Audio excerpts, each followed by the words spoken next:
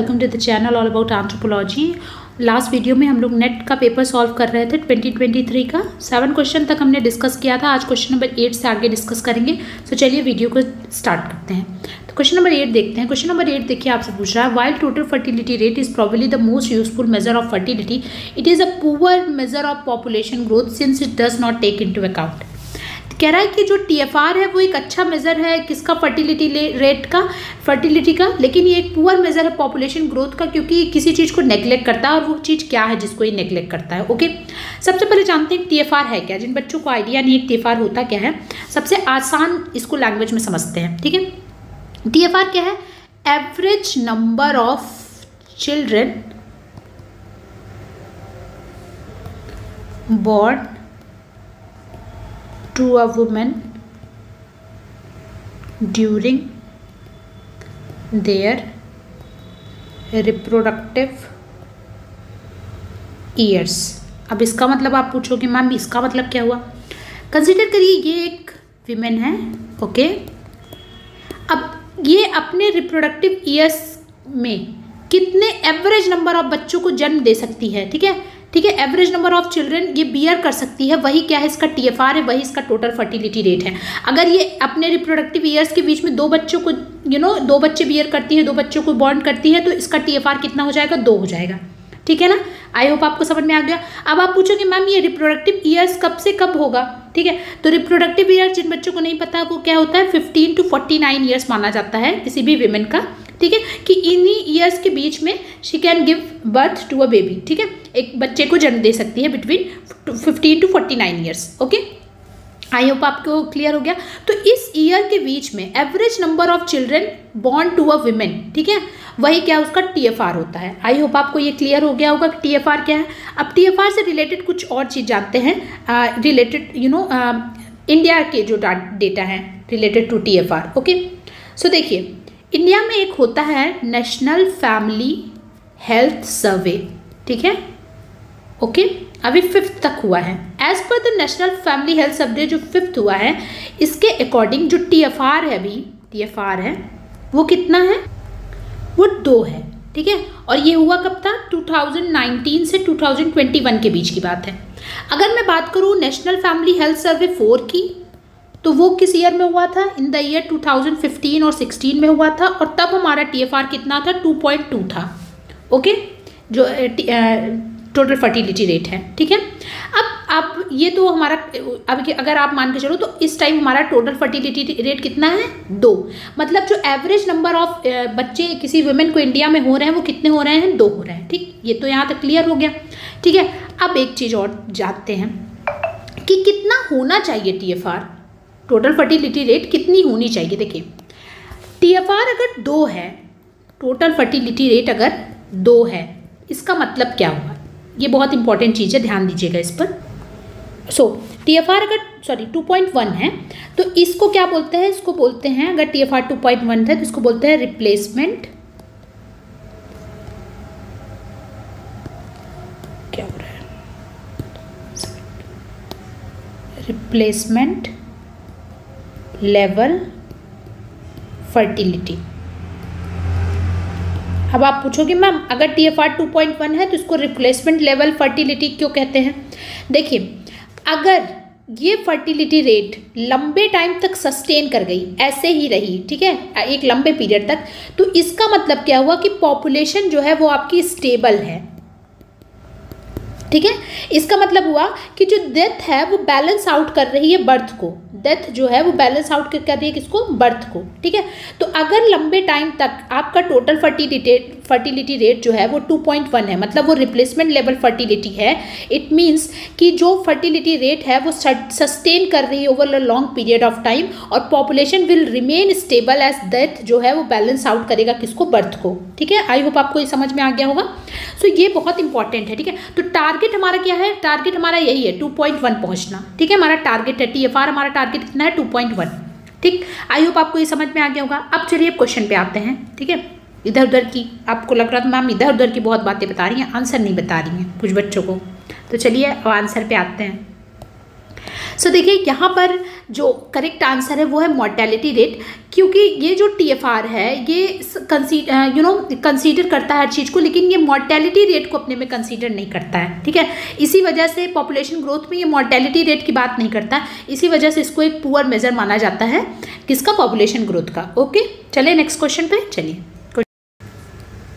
Question number nine देखते हैं। Question number nine आपसे पूछ रहा है which of the following group of primates do not perform arboreal quadrupedalism देखिए, जब मैं आपसे सी यू के पेपर सॉल्व कर रही थी, वहाँ मैंने आपको बहुत अच्छे से बताया था कि प्राइमेट्स में अलग अलग तरीके के लोकोमोशन पाए जाते हैं। कोई बायपेडल लोकोमोशन करता है, कोई क्वाड्रपेडलिज्म करता है, कोई लीपिंग करता है यू नो अलग अलग तरीके से मैंने आपसे बात की थी। वहाँ आपसे, वहाँ भी आपसे क्वेश्चन पूछा गया था। You know related to I hope siamang से था रिलेटेड क्वेश्चन तो यहाँ पर देखिए, यहाँ पर आपसे पूछा जा रहा है कि कौन सा ऐसा प्राइमेट है जो कि आर्बोरियल क्वाड्रपेट्रिज्म नहीं परफॉर्म करता जिन बच्चों को नहीं पता, इसका मतलब क्या है? मैं एक बार फिर से बता दूँ। आर्बोरियल का मतलब है कि आप ट्री वगैरह पे चलो, ठीक है? ट्री पे। तो उसको आर्बोरियल और क्वाड्रापेडली मतलब चार पैर से, जैसे ये मैंने यहाँ पर पिक्चर लगाई है, एक, दो, तीन, चार, ठीक है? चारों अपने यू नो लिम्स यूज़ करके चलना, ठीक है? तो यहाँ पर आपसे पूछ रहा है कि कौन सा ऐसा यू नो प्राइमेट है जो कि आर्बोरियल क्वाड्रापेडलिज्म नहीं करता? तो यहाँ देखिए करेक्ट ऑप्शन है पिक टेल्ड मंकी और मैंने यहाँ पर इसीलिए फिगर यू नो इसकी पिक्चर भी लगा रखी है। ये है एक पिक टेल्ड मकैक जिसको बोलते हैं। और ये टेरेस्ट्रियल क्वाड्रापेडलिज्म करता है, ठीक है? ज़मीन पर चलता है, ना कि आर्बोरियल ठीक है? तो ये टेरेस्ट्रियल क्वाड्रापेड पेडलिज्म करता है। तो अब आपको इसको कैसे याद करना है, आपको ये दिमाग में रखना है। अब जैसे आप जैसे नोट्स बना रहे हो, ठीक है? तो नोट्स में आपको आर्बोरियर कार्डोपेडलिज्म में डाफ बुश बेबी पोटो और स्क्वायरल मंकी इसका नाम नोट कर लेना और टेरिस्टियल में इसका नाम नोट कर लेना है, ठीक है? मैं एक चीज़ आपसे कहूँगी देखिए आप लोग कह रहे हो कि मैम पेपर टफ आया ठीक है? हमारे साथ क्या होता है जब हम लोग पढ़ने लगते हैं ना तो जो जो नाम हमारे लिए इजी है जैसे स्क्वायरल मंकी है बुश बेबी है तो हम ये सब दिमाग में रिकॉल करते हैं याद करते हैं इनके बारे में पढ़ते भी लेकिन ज़रा सा कहीं पर नाम अलग आ जाता है या फिर एग्जाम्पल्स कहीं आ, आ जाते हैं तो हम एक दो पढ़ के उस पर ध्यान नहीं देते। और हो क्या रहा है पेपर में कि पेपर में एक अलग से एग्जाम्पल्स डाल दिए जा रहे हैं यू नो अलग से जैसे प्राइमेट का नाम डाल दिया जा रहा है तो हम उसको पढ़ते नहीं हैं और हमें लगता है पेपर टफ आ गया ठीक? तो अब हमें क्या हमें इग्नोर नहीं करना है, ठीक है? जितने भी नेम आ रहे हैं, हमको उस पर थोड़ा छोटा सा कुछ नहीं, आप उसको गूगल पे रिसर्च यू नो सर्च कर लो इसके बारे में, दो लाइन लिख लो उसके बारे में, चार लाइन लिख लो तो छोड़ना नहीं है। जैसे अब ये सारे हैं पोटो है स्क्वायरल मंकी कल को इनके ऊपर क्वेश्चन आ सकता है तो आपको क्या करना है? आपको बस इनके ऊपर जरा सा गूगल करना है। आप कुछ नहीं तो आप विकीपीडिया पर जाकर इनके बारे में जरा सा पढ़ लो और अपनी नोट्स में इनको ऐड कर लो, ठीक है ना? अब जैसे यहाँ पर आपको क्या पता लगा कि अगर एक ये नहीं है टेरेस्ट्रियल है तो तीन आपको पता लग गया कि ना, ये आर्बोरियल है अब इन तीनों का नाम हमें याद कर लेना है, ठीक है ना? आई होप आपको समझ में आ गया होगा, मैं कहना क्या चाहती हूँ।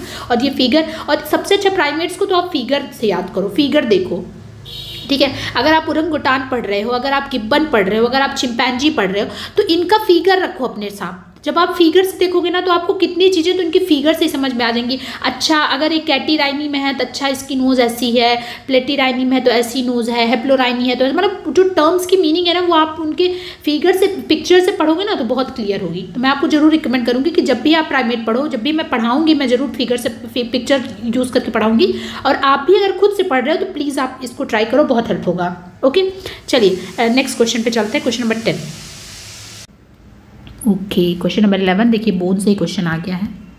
और जो मैं बार बार कह रही हूँ कि अपना प्रैक्टिकल अच्छे से पढ़िए लॉन्ग बोन अच्छे से पढ़िए, वही चीज़। In which of the following bone conoid tubercle is present किस बोन में कोनाइड ट्यूबेरिकल पाया जाता है? रेडियस अल्ला क्लाविकल स्कैपुला ठीक है?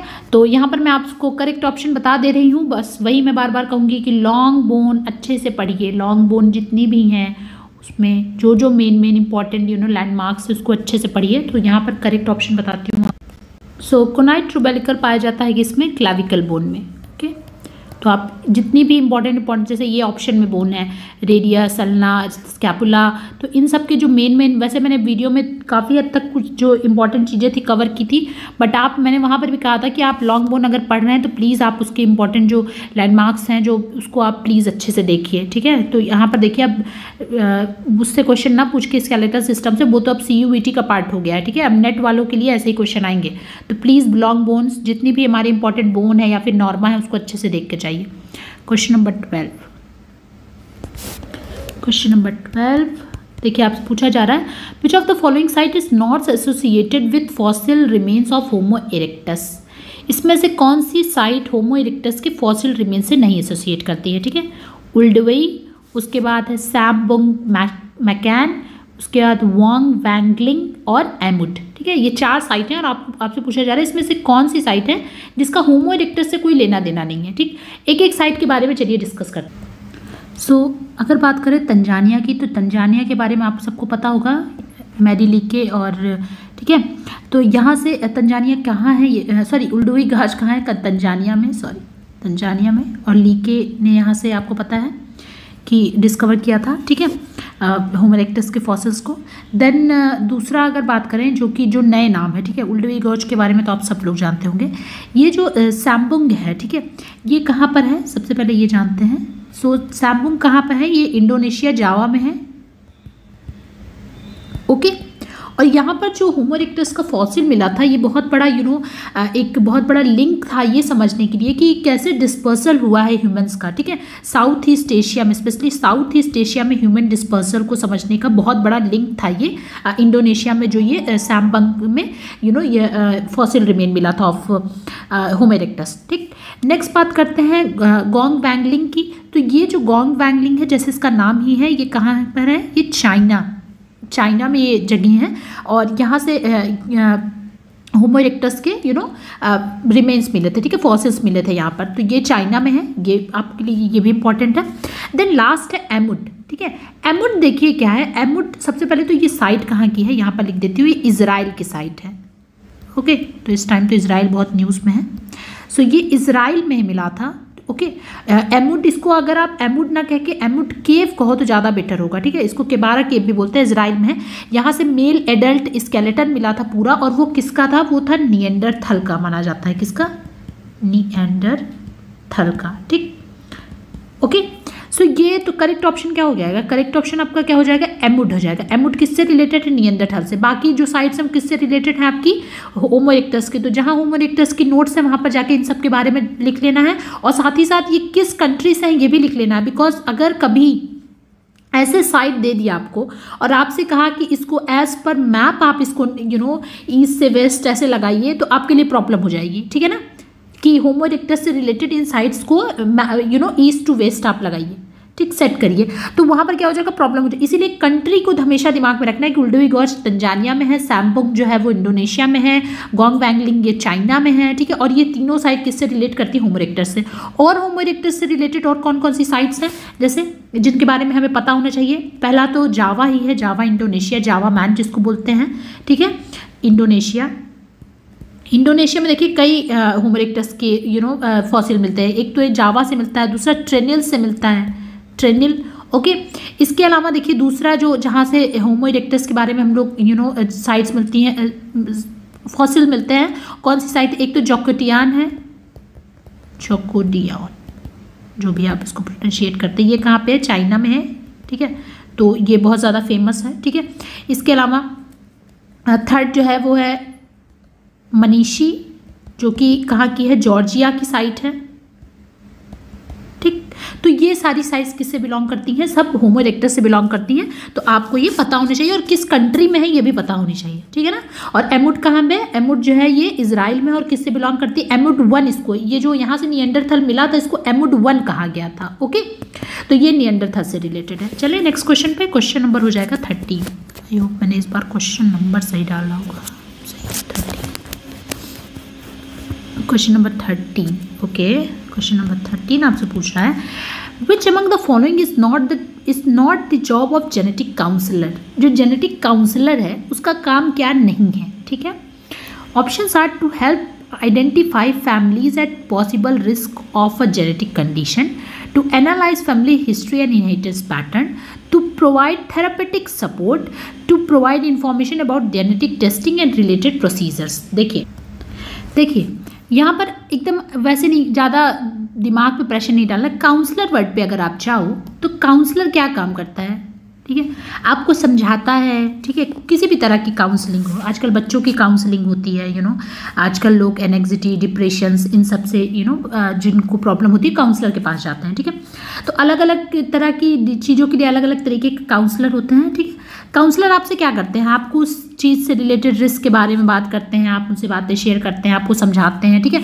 लेकिन काउंसलर आपको यू you नो know, कोई थेरेपेटिक सपोर्ट नहीं प्रोवाइड करता। अगर हम जेनेटिक काउंसलर की यहाँ पर बात कर रहे हैं तो जेनेटिक काउंसलर आपको कोई दवा नहीं देता है ठीक कि आप ये दवा खाओ ठीक है? या आपके यहाँ ये जेनेटिक बीमारी है। आप वो बस आपको क्या करेगा? सारे ऑप्शन समझते हैं। To help identify families at possible risk of genetic condition क्या करेगा? जो फैमिली जेनेटिक कंडीशन मतलब मान लीजिए किसी फैमिली में बहुत ज़्यादा यू नो जिसको आ, आ, आ, अपनी फैमिली में यू नो डिज़ीज़ हो रही है जेनेटिक डिज़ीज़ हो रही है तो उनको बताएगा कि हाँ जीन पूल आपका यू you नो know, एक है आप कौन सी यूनिस मैरिजेस मत करिए ना? ज़्यादा अपने से बाहर निकल के शादी करिए जैसे लोग कजिन मैरिज करते हैं। ठीक है? तो उनको समझाएगा कि हाँ कजिन मैरिज हो रही है तो आपका जीन पूल एक है, इस वजह से आपको जेनेटिक डिज़ीज़ हो रही है। तो उन, इस चीज़ को, उस चीज़ को समझाना उसका काम है। साथ ही साथ उसका काम क्या है कि टूनलाइज फैमिली की हिस्ट्री को पूरा देखना जीनियोलॉजी को देखना इनहेरिटेंस पैटर्न को देखना कि कहाँ से किस कहाँ से जो है कोई डिज़ीज़ ट्रांसफ़र हो रही है। अच्छा ये फादर में थी या फिर ये मदर मेटरनल साइड से है पेटर्नल साइड से है, पूरा आपकी जीनियोलॉजी को, आपकी फैमिली पेडिग्री को समझना उसका काम है, ठीक है? उसके बाद क्या काम है? किसी जेनेटिक काउंसलर का to provide information about genetic testing और रिलेटेड प्रोसीजर क्या होंगी? कि अच्छा आपका ये होगा, फिर क्या क्या प्रोसीजर्स होंगे, आपके ये टेस्ट होंगे, ऐसे ये सब चीज़ें प्रोवाइड कर, लेकिन कोई थेरेपेटिक सपोर्ट नहीं प्रोवाइड करता, ठीक है ना?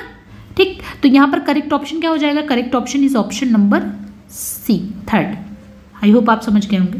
तो जेनेटिक काउंसलर का काम कोई थेरेपेटिक सपोर्ट प्रोवाइड करना नहीं है। बाकी जितनी भी चीज़ें वो आपको सब कुछ बताएगा। आपको बताएगा क्या पॉसिबल रिस्क हैं आपकी पूरी पेडिग्री एनालिसिस करेगा, आपको जेनेटिक जो प्रोसीजर्स होंगे उसके बारे में बताएगा बट कोई थेरेपेटिक सपोर्ट नहीं प्रोवाइड करेगा। आई होप आपको समझ में आ गया होगा। क्वेश्चन नंबर फोर्टीन पे चलते हैं। क्वेश्चन नंबर फोर्टीन आपसे पूछ रहा है। According to the classification of Risley of the Indian population which of the group does not represent Scytho Scytho Dravidian मतलब जो रिस्ले ने इंडियन पॉपुलेशन को क्लासीफाई किया है उसमें से इनमें से कौन सा ग्रुप साइथोद्रविनियन को रिप्रेजेंट नहीं करता है? अब देखते हैं। थोड़ा सा रिस्ले के क्लासिफिकेशन की बात यहीं पर कर लेते हैं ओके सो so, आपको पता है कि रिस्ले ने इन द ईयर 1915 में इंडियन पॉपुलेशन को क्लासीफाई किया था on the basis of their anthropometric measurement anthropometric measurement ठीक है? अब इन्होंने जब एंथ्रोपोमेट्रिक मेज़रमेंट किया in order to classify the you know Indian population तो उ, उनको तीन मेजर जो है प्रिंसिपल जिसको आप कहते हैं प्रिंसिपल रेशियल टाइप्स मिले थे। वो कौन कौन से थे? तीन प्रिंसिपल रेशियल टाइप कौन कौन से थे? द्रविनियन हो सकता है कभी ये भी क्वेश्चन आ जाए। इंडो आर्यन और थर्ड वन कौन सा था? मंगोलाइट और इन्होंने टोटल कितने टाइप्स में, जो फ़िज़िकल टाइप्स में क्लासिफाई किया था पॉपुलेशन को? सेवन टाइप्स में। तो तीन तो ये हो गए। और जो चार हुए, वो आप पूछोगे, मैम, वो क्या थे? तो और जो चार थे, इन्होंने कहा कि वो कहीं ना कहीं मिक्सचर थे इन तीनों के। ठीक है? मतलब ये फ़र्स्ट ये सेकेंड और ये थर्ड और फोर फाइव सिक्स और सेवन ये क्या थे? ये चार जो थे वो इन्हीं तीन के मिक्सचर थे। इन्हीं तीन से मिल के बने थे ओके अब चलिए देखते हैं कि वो कैसे मिल के बने थे। नाम से ही आपको पता लग जाएगा। सो so, मैंने द्रविनियन बता दिया आपको इंडो आर्यन बना दिया मंगोलाइट बता दिया। अब फोर्थ क्या था? फो सॉरी ये क्या हो रहा है? फोर्थ हम्म, क्या था? फोर्थ है आर्यो द आर्यो द्रविनियन ठीक है? मतलब आर्यन और द्रविनियन का मिक्सचर ठीक है? देन फिफ्थ था मंगोलो देखो इसमें याद याद नहीं करना, आपको ऊपर तीन याद है तो उसी का मिक्सचर चार और है, ठीक है? Mongolo Dravidian Aryo Dravidian then Mongolo Dravidian then six Scytho Dravidian जो आपसे पूछा जा रहा है Scytho Dravidian and seven last ये थोड़ा अलग है, यह है तर्को ईरानियन सो ये सात तरीके के फ़िज़िकल टाइप्स आप कह कह सकते हो या फिर अलग अलग you know population Indian population की बात कर सकते हो। उसको क्लासीफाई किया था किसने? रिस्ले ने, ठीक? जिसमें से तीन जो थे, ये तीन जो थे, ये ऊपर के तीन। आपको हमेशा दिमाग में रखना ये क्या है? मेन प्रिंसिपल रेशियल टाइप्स हैं। प्रिंसिपल रेशियल टाइप्स हैं। और चार क्या हैं? मिक्सचर्स हैं उसके, ठीक है? तो यहाँ हो गया। अब आपसे पूछा है कि इसमें से कौन सा साइथो द्रविनियन से बिलोंग नहीं करता है? ये। ये साइथो द्रविनियन से नहीं बिलोंग करता है ठीक है? तो अब साइथो द्रविनियन में कौन कौन आता है? यहाँ लिख रही हूँ मैं। एक बॉक्स बना देती हूँ फिर लिख देती हूँ। सो साइथो द्रविनियन में कौन कौन आता है? यहाँ पर नोट करते मराठा ब्राह्मण्स। और इसमें कौन आते हैं? कुंबिस वन सेकेंड कुंबिस ऐसे और आते हैं इसमें कूप्स ओके अब ये जो साइथो द्रविनियंस होते हैं, इनके बारे में थोड़ा सा और जान लेते हैं। कहाँ कहाँ से बिलोंग करते हैं इंडिया के किस पार्ट से? तो ये basically Madhya Pradesh, Maharashtra, Gujarat you know Gujarat का जो कुर्ग वाला रीजन है, वहाँ से बिलोंग करते हैं। ओके अच्छा अब थोड़ा सा और भी ये जो इम्पोर्टेंट है, इनके बारे में देख लेते हैं। द्रविनियन, ठीक है? तो यहाँ पर देखिए, आपके ऑप्शन में एक है ये ऑप्शन है पनियांस है ना पनियांस तो करेक्ट ऑप्शन यही है, क्योंकि मराठा ब्राह्मण, कुर्गिस और कुंबिस ये तो हो गए आपके साइथो द्रविनियन में, ठीक है?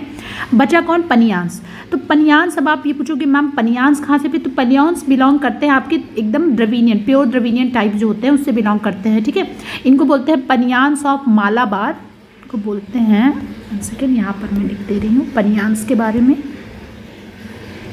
इनको बोलते हैं पनियान्स। पनियान ट्राइब भी है, आपको पता है, केरला, कर्नाटका, तमिलनाडु में पाई जाती है पनियान्स ऑफ़ मालाबार। ठीक है? मालाबार किधर है? साउथ इंडिया में। ठीक है? पनियान ऑफ़ मालाबार ठीक? तो ये बिलोंग करते हैं किससे? आपके द्रविनियन टाइप से। मतलब जो जो लोग इंडिया के किस पार्ट में है? सदर्न पार्ट में है, जैसे तमिलनाडु में है, ठीक है? आंध्र प्रदेश में है, ठीक है? इन सब रीजन के लोग, ठीक? और तो और इन, और देखिए इंडो आर्यन जैसे है तो इंडो आर्यन में कौन आते हैं? इंडो आर्यन में आते हैं आपके कश्मीरी ब्राह्मण्स आते हैं, राजपूत आते हैं जाट्स आते हैं, ठीक है?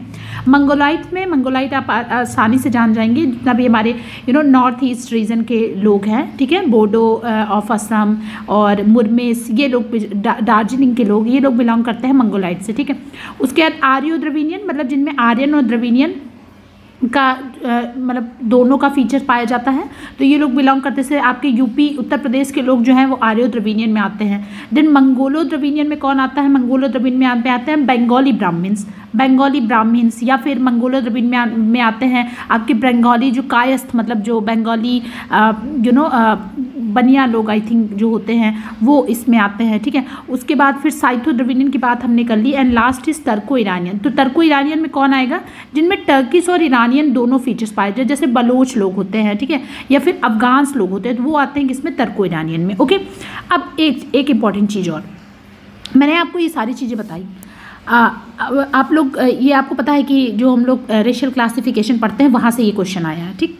अब एक चीज़ मैं आपको यहाँ पर बहुत इंपॉर्टेंट जो बताने चल रही हूँ, वो ये है कि ये क्वेश्चन जो है, ये क्वेश्चन डायरेक्ट आया है आपकी इग्नू की नोट से बिकॉज़ मैं इग्नू मैंने इग्नू पूरा पढ़ रखा है, इस वजह से मैं आपको बता रही हूँ, ये क्वेश्चन डायरेक्ट इग्नू से, ऐसे इग्नू से उठा के क्वेश्चन यहाँ पर दे दिया गया है, ठीक है? तो मैं आपको इसीलिए कहूँगी कि आप अच्छे से पढ़िए, देखिए क्वेश्चन कहीं अलग से नहीं आ रहा, बस आपकी नोट्स में से कहीं से अचानक से यू नो इग्नू से या फिर आपकी पी पाठशाला, वहाँ से ऐसे क्वेश्चन उठाए जा रहे हैं और आपको लगता है कि पता नहीं कहाँ से, किस बुक से हम पढ़ें। तो ये क्वेश्चन डायरेक्ट इग्नू का है, ठीक है? चलिए नेक्स्ट क्वेश्चन देखते हैं question number fifteen question number fifteen देखते हैं। क्वेश्चन नंबर फिफ्टीन आपसे पूछ रहा है in the year 1976 Phyllis Eveleth and J M Tanner authored the book world wide variation in human growth the book is based on detail description of growth in population from और from और descendant from मतलब J M tenor और और Phyllis एलिवेथ book लिखते हैं in the year 1976 जिसका नाम था, क्या था? World wide variation in human growth okay तो आपको क्या करना है? पहले तो ये इस बुक को नोट कर लेना है ओके? अपनी नोट्स में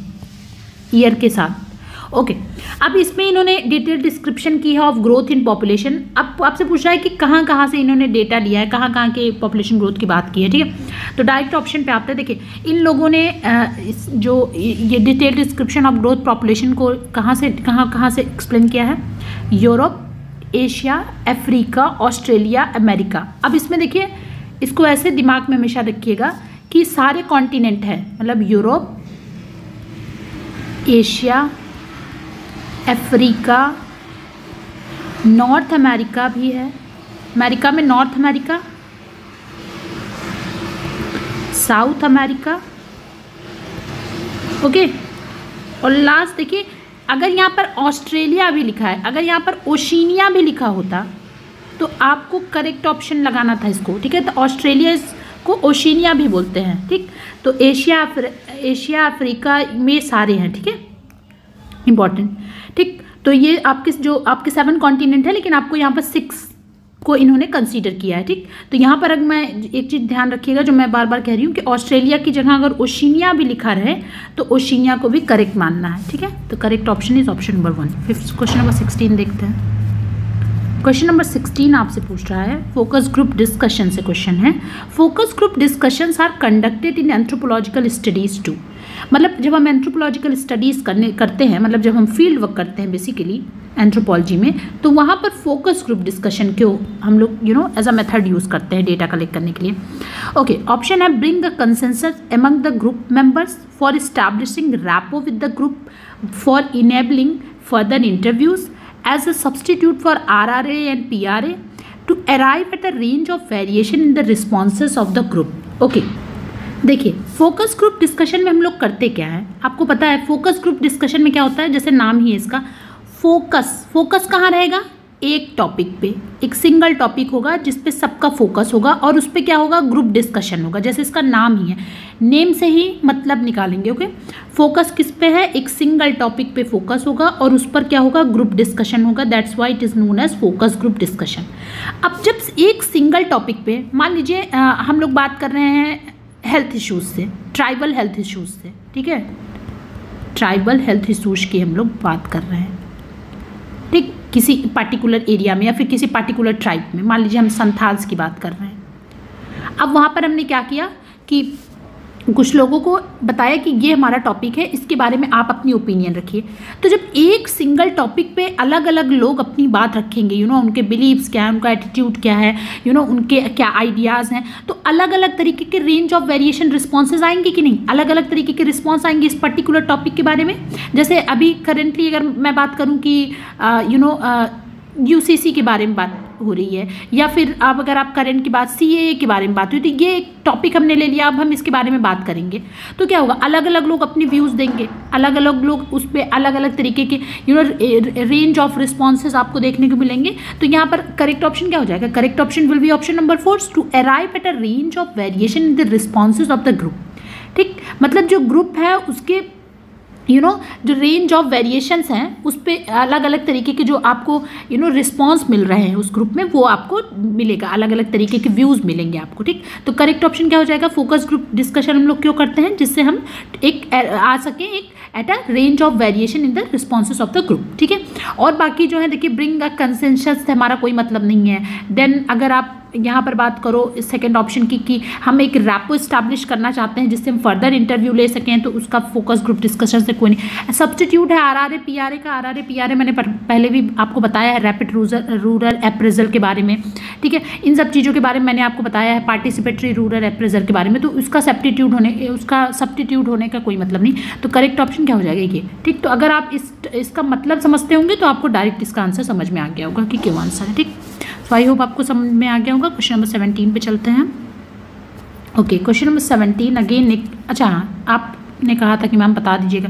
तो ये तो क्वेश्चन आपका आया रिसर्च मेथडोलॉजी से देन ये भी क्वेश्चन है रिसर्च मेथडोलॉजी से ही, ठीक है? रिसर्च मेथडोलॉजी से ये भी क्वेश्चन है। चलिए, देखते हैं। क्वेश्चन नंबर सेवेंटीन आपसे पूछा। A study that attempt to derive general propositions that will hold for a number of cases rather than one case in rather than one case is called अच्छा कई बार ना हम टर्म से term जो होते हैं उससे हम लोग जानते हैं कि ये पर्टिकुलर किस आ, किस चीज़ से रिलेटेड है ये जो पर्टिकुलर डेफिनीशन है या फिर पर्टिकुलर कोड है ये किससे यू नो बिलोंग करता है। जैसे कि मैं आपको एग्जांपल जैसे मैंने आपसे कहा ना कि पर्टिकुलर कोड जैसे मान लीजिए, जब भी हम ग्रुनाल मृडाल की यू नो कोई भी अगर आप कास्ट की डेफिनेशन देखोगे तो वहाँ पर उन्होंने एक्सट्रीम वर्ड बहुत यूज़ किया है एक्सट्रीम वर्ड तो इससे हम जान जाते हैं कि ये डेफिनेशन जो है मृडाल से हो सकती है बिलोंग करें. ठीक है? ऐसे ही यहाँ पर अगर आप ये देखो तो यहाँ पर एक वर्ड है general proposition I study that attempt to derive journal proposition that will hold for a number of cases rather than one case, ठीक है? ठीक, अब इसको समझते हैं कि मैं समझाना क्या सकती हूँ। ये इस जनरल प्रोपोजिशन पे फोकस करने का मतलब क्या है? मेरे देखिए नोमो एक होता है थेटिक और दूसरा होता है इडियोग्राफिक ये दो तरह के हम लोग अप्रोचेस पढ़ते हैं ना? I D E O idiographic okay देखिए नोमोथेटिक, नोमो वर्ड जो है, इसका मतलब होता है, एक ग्रीक वर्ड है, जिसका मतलब वो क्या होता है, लॉ। ओके? और इडियो, ये क्या है, ये भी एक ग्रीक वर्ड है, जिसका मतलब क्या होता है, प्राइवेट। ठीक? तो नोमोथेटिक अप्रोच में क्या होता है, कि हम एक यूनिवर्सल लॉ, एक जर्नल प्रपोजिशन ढूंढते हैं, ठीक है? जो कि अप्लाई कर, जिसको हम जर्नलाइज कर सकें, ठीक?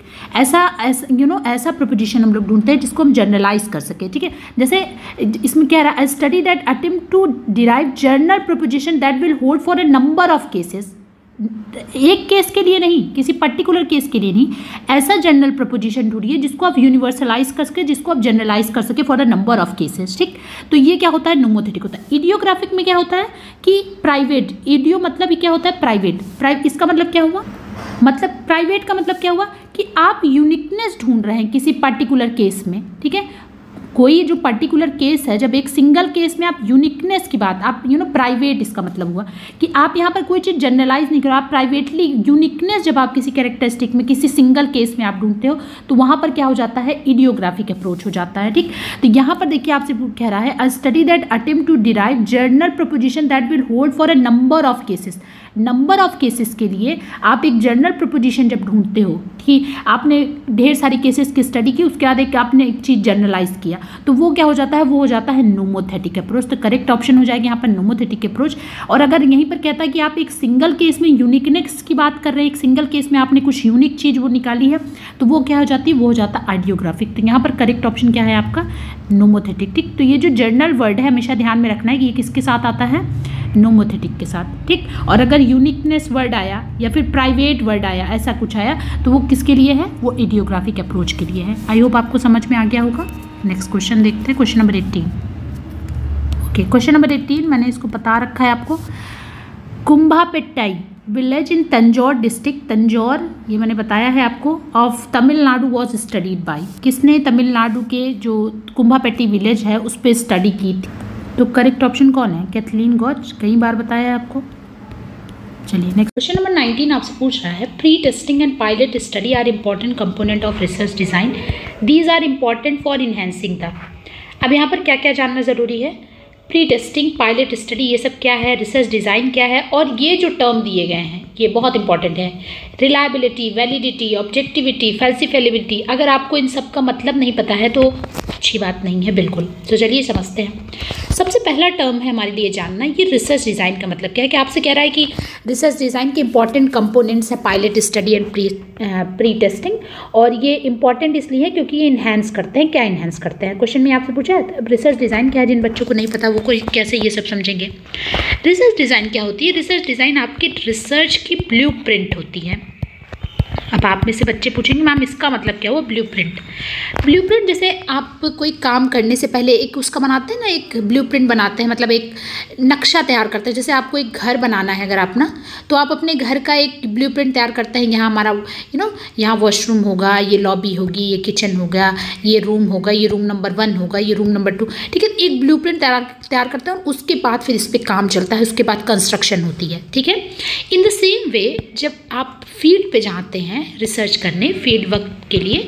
तो फ़ील्ड वर्क के लिए मान लीजिए एक एग्जांपल लेते हैं कि आपने, आपका फ़ील्ड वर्क केरल में कहीं है समवेयर इन केरल में आपका, केरला में आपका फ़ील्ड है, आप वहाँ पर मान लीजिए रिसर्च कर रहे हैं, ठीक है? एक सपोज़ करिए सपोज़ करिए।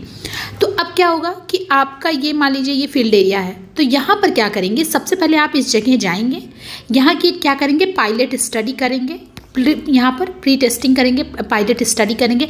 यहाँ देखेंगे यहाँ पे लोग कैसे हैं इन्वामेंट कैसा है यू नो कौन सा मेथड आप यूज़ कर सकते हो। अच्छा यहाँ जिन लोगों की आप स्टडी कर रहे हैं, वो लिटरेट हैं कि इलिटरेट हैं। अगर मान लीजिए अगर यहाँ के लोग पढ़े लिखे हैं लिटरेट है तो आप यहाँ पर क्वेश्चन आयर यूज़ कर सकते हो। नहीं पढ़े लिखे हैं तो आप इंटरव्यू शेड्यूल यूज़ करोगे ना यू नो तो पायलट स्टडी में आप क्या करते हो? ये बहुत सी चीज़ें आपको पता चल जाती हैं और उस तरीके से आप अपनी पूरी रिसर्च को क्या करते हो? डिज़ाइन करते हो ना? कि पूरी रिसर्च आपकी कैसे होगी? उसी को क्या बोलते हैं? उसी को बोलते हैं research design okay I hope आपको समझ में आ गया होगा। तो रिसर्च डिज़ाइन में ये सब पायलट स्टडी और प्री टेस्टिंग वगैरह की जाती हैं। ये इंपॉर्टेंट क्यों है? ये क्या इन्हेंस करती हैं? अगर आप रिसर्च डिज़ाइन में पहले से अगर आप पायलट स्टडी और ये सब करते हो तो ये क्या इन्हेंस करेंगी? क्या हेल्प करेंगी आगे चल के आपकी रिसर्च में? आपसे पूछ रहा है। क्या ये reliability of the data collection को इन्हेंस करेंगी? Validity of the research tools की वैलिडिटी को इन्हेंस करेंगी? ऑब्जेक्टिविटी ऑफ़ द रिसर्च को यू नो इन्हेंस करेंगी? या फिर फाल्सीफाइबिलिटी देखिए, करने को तो ये सब कुछ करेंगे, लेकिन सबसे ज़्यादा किसको सबके, सबसे ज़्यादा किसके लिए यू नो इंपॉर्टेंट है? वो समझते हैं। वो जानने से पहले मैं इन सब का मतलब आपको समझा देती हूँ। पहला टर्म है रिलायबिलिटी रिसर्च में रिलायबिलिटी क्या होती है? ठीक है? रिलायबिलिटी इन रिसर्च कहते नहीं रिलायबल है कि नहीं ये चीज़? ठीक है?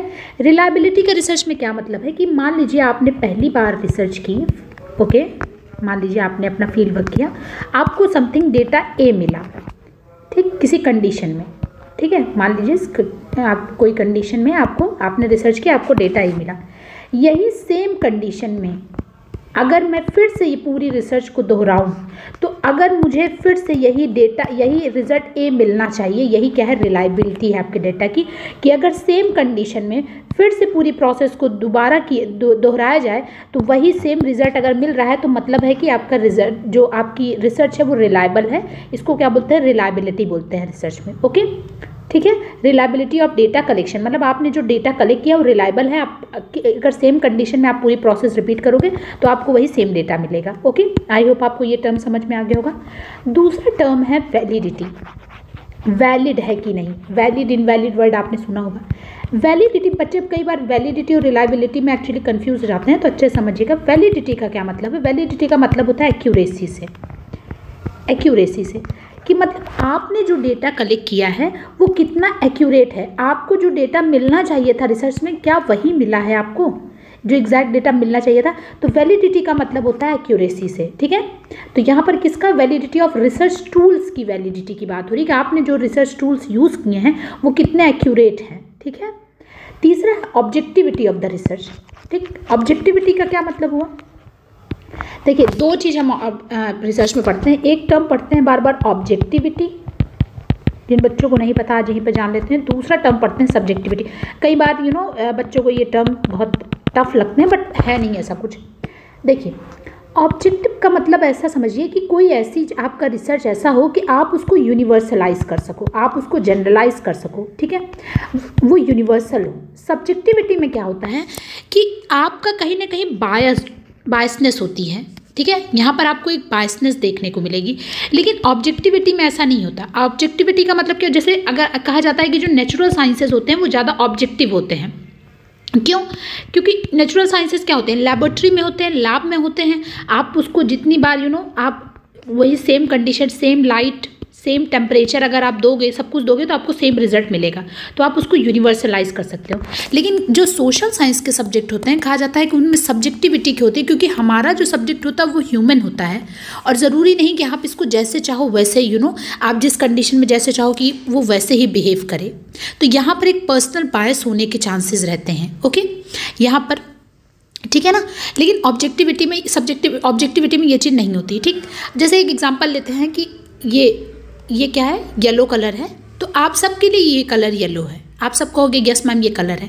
येलो है। लेकिन मैं यहाँ पर कहूँ कि येलो कलर जो है, ये इज़ बेस्ट कलर तो यहाँ पर ये क्या हो गया? यहाँ पर मेरे पर्सनल बायस आ गए कि नहीं, आप लोग कहोगे, नहीं मैम ब्लू ब्लू अच्छा है। तो कोई कहेगा रेड अच्छा है। तो कोई कहेगा पिंक अच्छा है। ठीक है ना? तो ठीक है ना? तो जो चीज़ आप यूनिवर्सलाइज कर सको, वो ज़्यादा, वो क्या हो जाती है, जिसको आप जनरल वो सब्जेक्टिविटी आपको दिमाग में रखना है। ये क्या हो गया?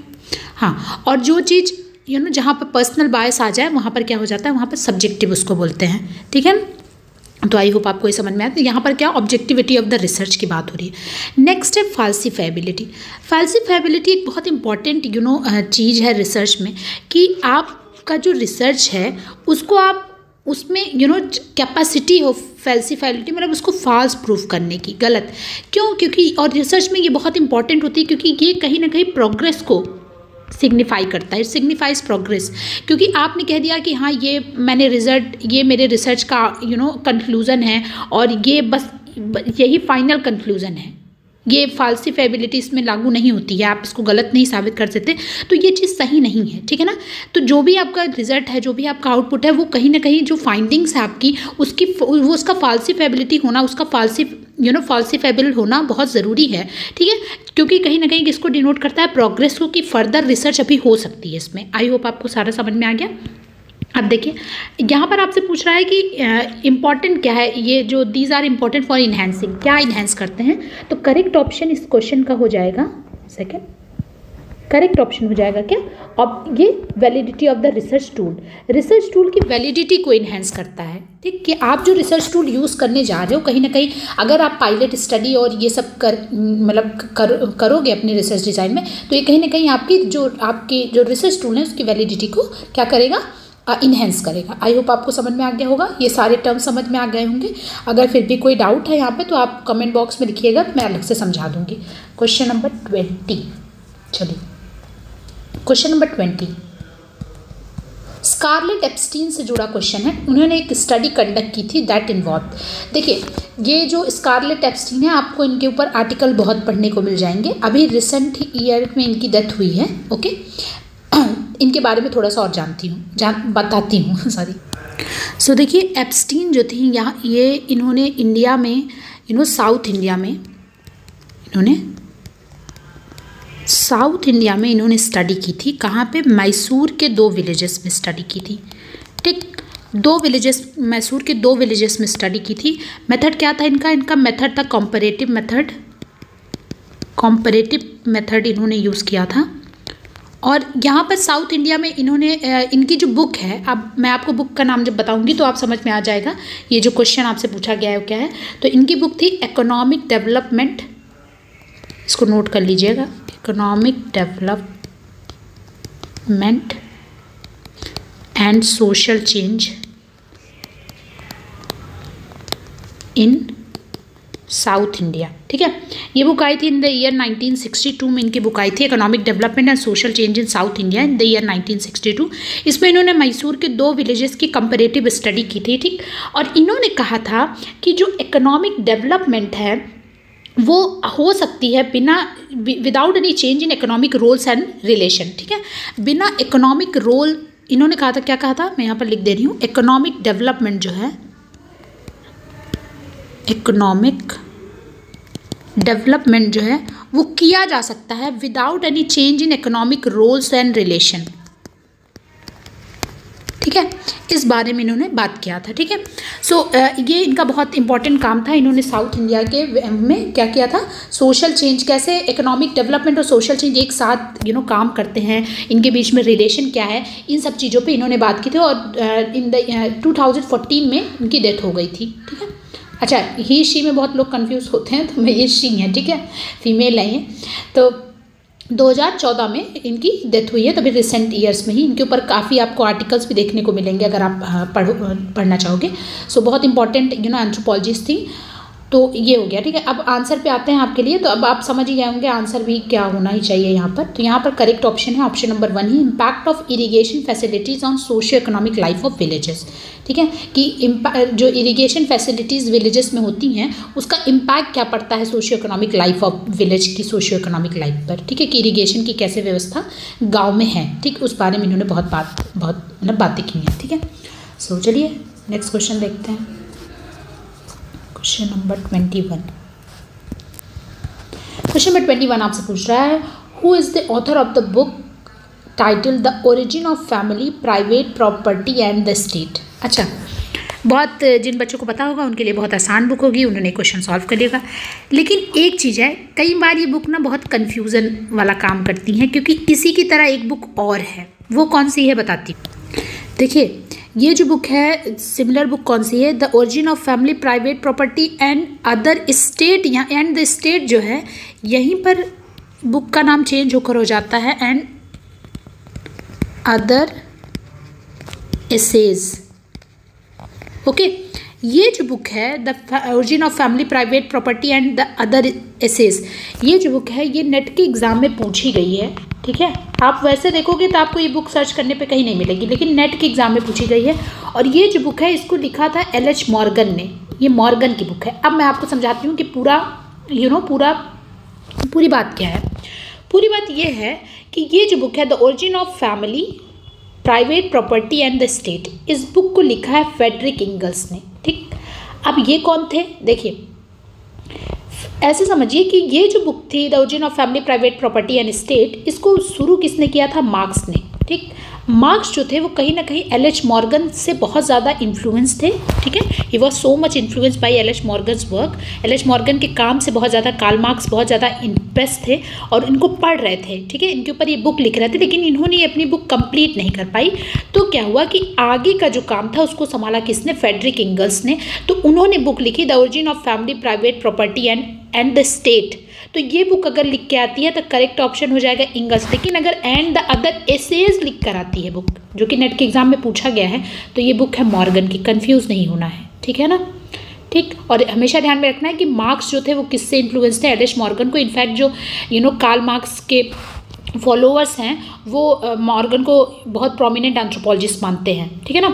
तो ये चीज़ आपको ध्यान दे, ध्यान में रखनी है. चलिए नेक्स्ट क्वेश्चन देखते हैं. Twenty two question number twenty two again research methodology से क्वेश्चन सो रिसर्च मेथोडोलॉजी आप देख रहे हो, बहुत क्वेश्चन आ रहे हैं. Theoretical sampling and theoretical situation are a part of किस थ्योरी के पार्ट है theoretical sampling and theoretical situation correct option अभी पहले बताती हूँ, फिर बात करेंगे.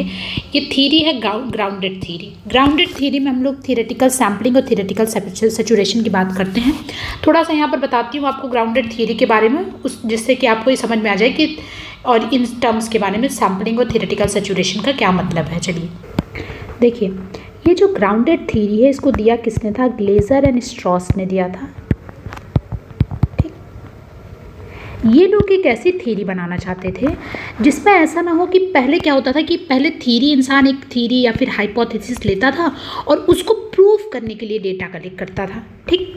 इन्होंने कहा, क्या कहा कि हम लोग एक ऐसी, एक ऐसा यू नो थीरी बनाएँगे जो कि क्या करेगी, जो कि ग्राउंडेड होगी इन इट्स डेटा इट्स मतलब क्या हुआ? ग्राउंडेड इसका नाम ही है ग्राउंडेड देखिए। कहते हैं नहीं बहुत ग्राउंडेड है मतलब बहुत ज़मीनी स्तर से जुड़ा होगा। इसका मतलब क्या हुआ? मतलब ये हुआ कि हम पहले क्या करेंगे? हम डेटा कलेक्ट करेंगे, ठीक है? डेटा कलेक्ट करेंगे, उसकी एनालिसिस करेंगे, उसकी कोडिंग करेंगे, उसकी यू नो थियोरेटिकल सैम्पलिंग करेंगे और उसके बाद जो हमें डेटा मिलेगा, उस पर हम लोग एक थीरी बना के देंगे। ना कि हम कोई थीरी ले लेंगे और उसको प्रूफ करने के लिए हम डेटा ढूँढने चलेंगे। कि ये तो ये बात है, ये हमने कह दिया, ये हमारा एकदम यू नो अंतिम सत्य है लास्ट यूनोत्रुत है। अब हम इसको प्रूफ करने चल रहे हैं। हम इसके लिए डेटा नहीं। इन्होंने कहा कि आप जो आप, पहले आप डेटा कलेक्ट करो और उसके बाद उस डेटा जो आपने डेटा कलेक्ट किया है, उसके बेसिस पे आप थीरी बनाओ। ठीक है आप अपनी थीरी दो ओके आई होप आपको समझ में आ गया।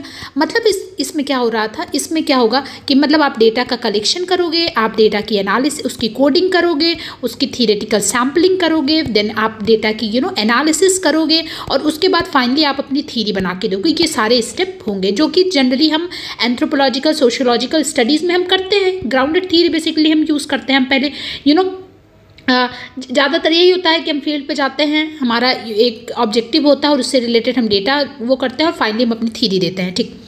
अब दूसरी चीज़ जानने की ये है इसमें जो कि मतलब मुझे बताना चाहिए, वो ये है, और क्या है, ये इंडक्टिव अप्रोच यूज़ करता है। इंडक्टिव डिडक्टिव अप्रोच आप पढ़ते होंगे ये इंडक्टिव अप्रोच यूज़ करता है ग्राउंडेड थी इसका मतलब क्या हुआ? इंडक्टिव अप्रोच यूज़ करने का मतलब ये हुआ, वही चीज़ जो मैंने आपसे बताई, कि डेटा जो आपका है, उस बेसिस पे हम थीरी बनाएँगे, ना कि हमारी जो प्री एग्जिटिंग यू नो हमारी जो हाइपोथेसिस है, उस बेसिस पे हम जो है डेटा कलेक्ट कर रहे हैं, उसको प्रूव करने के लिए, ठीक? तो हम डेटा जो है, उस बेसिस उसके थ्रू हम क्या बनाएँगे? अपनी थीरी देंगे इंडक्टिव अप्रोच है। दूसरी चीज़ ये एक बहुत इंपॉर्टेंट चीज़ है, जो कि हो सकता है आपके फ़र्स्ट पेपर में कभी क्वेश्चन आ जाए, या फिर आया ही होगा, कि grounded theory is the only theory केवल इकलौती ऐसी थीरी है जो कि तो ये क्या है? एक इकलौती क्वालिटेटिव यू नो आप मेथड बोल सकते हो थीरी बोल सकते हो, जो कि क्वांटिटेटिव डेटा यूज़ करती है। मतलब ऐसा नहीं है कि इसमें ऐसा नहीं है कि ग्राउंडेड थीरी में आप केवल क्वालिटेटिव ही डेटा यूज़ करोगे, नहीं। अगर आपको ज़रूरत पड़ी क्वालिटेटिव अगर आपको ज़रूरत पड़े तो आप क्वांटिटेटिव डेटा भी यूज़ करने से आपको नहीं चुकना है, ठीक है? इफ़ यू नीड अगर आपको ज़रूरत है तो आप क्या करोगे कि आप क्वांटिटेटिव डेटा भी यूज़ करोगे इसमें, ठीक? तो ये क्वेश्चन भी आ सकता है आपके एग्ज़ाम में, कौन सी ऐसी थीरी है जो कि क्वालिटेटिव नेचर में होते हुए भी क्वान्टिटेटिव डेटा को यूज़ करती है तो वो कौन सी थीरी है? ग्राउंडेड थीरी है। और क्या आप लोग को इसके बारे में जानना चाहिए? हाँ अब आते हैं ये थियोरेटिकल सैम्पलिंग और थियोरेटिकल सिचुएशन जो कि हमारे क्वेश्चन में है, ठीक है? देखिए थियोरेटिकल सैम्पलिंग का मतलब ये है थियोरेटिकल सैम्पलिंग समझिए कि एक स्टेप है आपके ग्राउंडेड थीरी का, एक स्टेप है। इसमें क्या होता है कि हम अपने डेटा हम अपनी डेटा हमारा जो यू नो स्टडी है, हमारी जैसे स्टडी जा रही है, हमारे यू नो जैसे जैसे हमारी थीरी बन रही, हम उस हिसाब से अपनी डेटा की सैम्पलिंग करेंगे। उस हिसाब से ऐसा नहीं कि हम रैंडमली डेटा हम रैंडमली नहीं हम रैंडमली जो है अपने सैंपल्स को नहीं पिक करेंगे।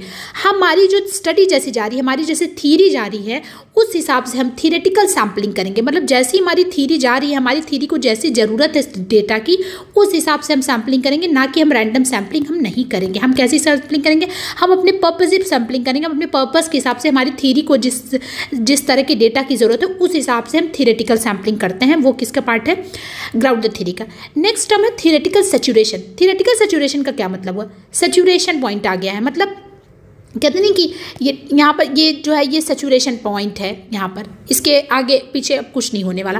तो वही थीरेटिकल सेचुरेशन का मतलब है कि अब ऐसा पॉइंट आ गया है थीरी में कि अब जो थीरी है, इसमें आप अब और कुछ नहीं कर सकते। आपको ये, यही आप कहेंगे नहीं ऐसा समझिए कि अब बस, अब खाना तैयार हो गया, अब इसमें ज़बरदस्ती का यू नो सॉल्ट और शुगर और मसाले डालने की ज़रूरत नहीं है।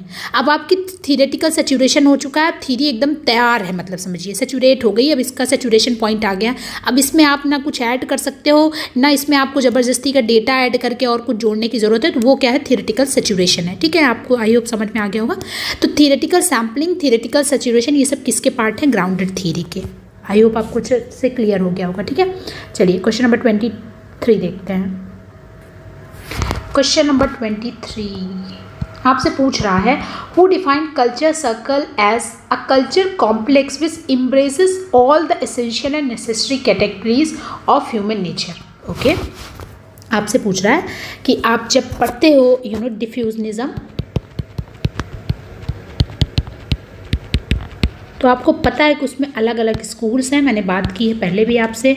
ब्रिटिश अमेरिकन और जर्मन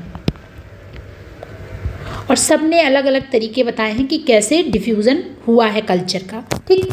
सो so, वहीं पर आप पढ़ते हो कल्चर सर्कल के बारे में। अब आपसे पूछा जा रहा है कि कल्चर सर्कल जो है, इसको किसने ऐसे डिफाइन किया है कि कल्चर सर्कल एक complex is a complex which embraces all essential and necessary categories of human nature ठीक है? सो करेक्ट ऑप्शन यहाँ पर क्या है? So correct option is William Schmidt ठीक है? हम लोग डिफ्यूजनिज्म में जब जर्मन स्कूल ये जब जर्मन स्कूल ऑफ़ डिफ्यूजनिज्म पढ़ते हैं तो उसमें हम लोग तीन लोगों के बारे में पढ़ते हैं। उसमें से कौन कौन से हैं? फ्रेडरिक रेडसेल हैं शिमिट और ग्रेबनर है। ठीक है? तो यहाँ पर मैं करेक्ट ऑप्शन को ही केवल हाईलाइट कर रही हूँ। तो शिमिट ने यू नो जब इन्होंने कहा कि कल्चर कॉम्प्लेक्स इन्होंने कल्चर सर्कल को डिफाइन करते हुए कहा कि कोई कल्चर कॉम्प्लेक्स तब कल्चर सर्कल बनता है जब वो इम्ब्रेस करे सारी essential necessary categories of human nature जैसे कि इन्होंने एग्जांपल देते हुए कहा कि जैसे इकोनॉमी जैसे रिलीजन जैसे material culture material culture okay तो इन, इन्होंने इस तरीके से कल्चर सर्कल को कहा कि कोई कल्चर कॉम्प्लेक्स तब कल्चर सर्कल बनता है जब वो इम्प्रेस करे सारी एसेंशियल और necessary categories of human nature ठीक है? और कौन कौन ये किस स्कूल से बिलोंग करते थे? जर्मन स्कूल से। Okay question number twenty seven लिखा मैंने ये। ट्वेंटी टू अच्छा ट्वेंटी थ्री है। ट्वेंटी फोर ट्वेंटी फोर आपसे पूछ रहा है who among the following is a formalist कहाँ से क्वेश्चन आया है? इकोनॉमिक एंथ्रोपोलॉजी से। बहुत इजी क्वेश्चन है। जब हम लोग इकोनॉमिक एंथ्रोपोलॉजी स्टार्टिंग में ही पढ़ते हैं तो हमें दो तरह के यू नो ग्रुप्स पढ़ाए जा सकते हैं, आप कह सकते हो। एक फॉर्मलिस्ट दूसरा सब्सटेंटिविस्ट सब्सटेंटिविस्ट ठीक? ये दो ग्रुप पढ़ते हैं हम लोग। आपसे पूछा जा रहा है कि इसमें से कौन से फॉर्मलिस्ट हैं? कोई एक है बताती हूँ पहले इसके बारे में जान लेते हैं जिन बच्चों को नहीं पता है। क्वेश्चन आया इकोनॉमिक एंथ्रोपोलॉजी से। जिनको नहीं पता है कि ये है क्या? फॉर्मलिस्ट और सब्टेंटिविस्ट ये दो ग्रुप क्यों बनाए गए हैं इकोनॉमिक एंथ्रोपोलॉजी में? ये एक दूसरे से कैसे अलग है? इनके थॉट कैसे अलग हैं? पहले ये जानते हो। देखिए फॉर्मलिस्ट और सब्सटेंटिस्ट ये जो डिबेट है यू you नो know, ये जो इकोनॉमिक आप इकोनॉमिक इकोनॉमिक एंथ्रोपोलॉजी में ये जो डिवीज़न देखते हो इसको सबसे पहले किसने प्रपोज किया था? अगर आपसे पूछा जाए तो सबसे पहले प्रपोज किया था इन्होंने कार्ल पोलेनी ने। ठीक है, इनकी बुक एग्ज़ाम में आती है, किस बुक में? द ग्रेट ट्रांसफॉर्मेशन ये बुक एग्ज़ाम में आ चुकी है, इसलिए आपको पता होना चाहिए।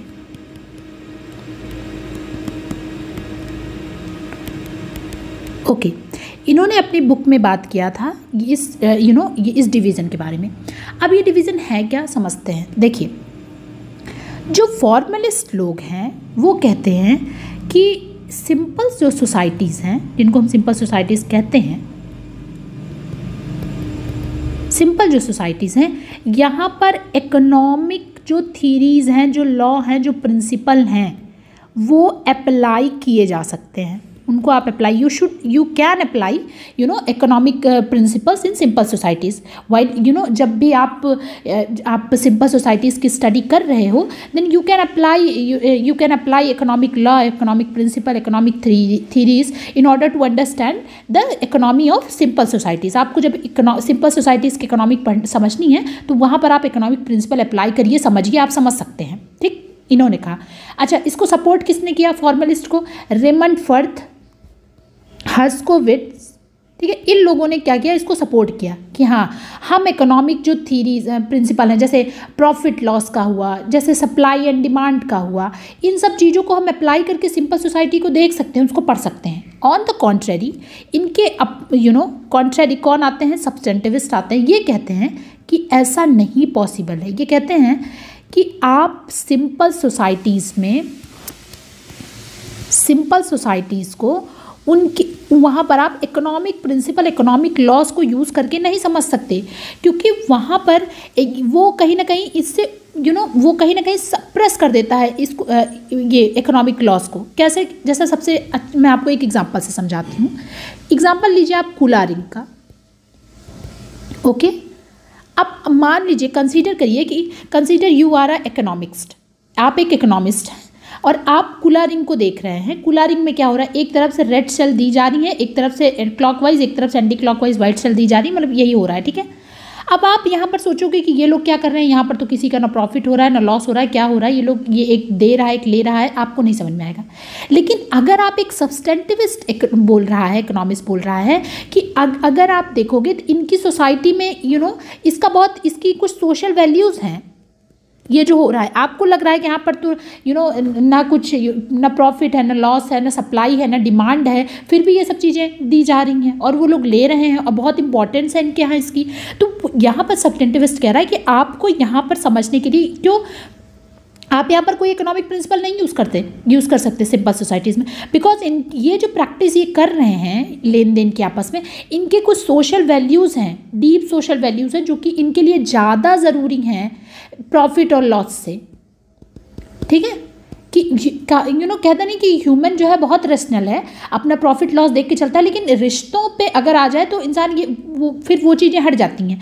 तो वही चीज़ यहाँ पर सब्टेंटिविस्ट कह रहे हैं कि अगर आप देखोगे तो ये जो प्रोसेस हो रही है, आपको लगेगा कि ये तो ऐसे ही हो रही है। लेकिन इसके कुछ सोशल वैल्यूज़ हैं यू नो उनकी सोसाइटी में, उनकी सोसाइटी के लिए, उनकी सोसाइटी की यू नो हारमोनी के लिए बहुत ज़रूरी है ये जो प्रैक्टिस ये लोग कर रहे हैं। जैसे एक एग्ज़ाम्पल लेते हैं। अमेजन में एक टाइप है क्यूरी क्यू क्यूरो क्यू क्यूरो आई थिंक अगर मैं सही बता रही हूँ आपको क्यू क्यूरो ट्राइब है, ठीक?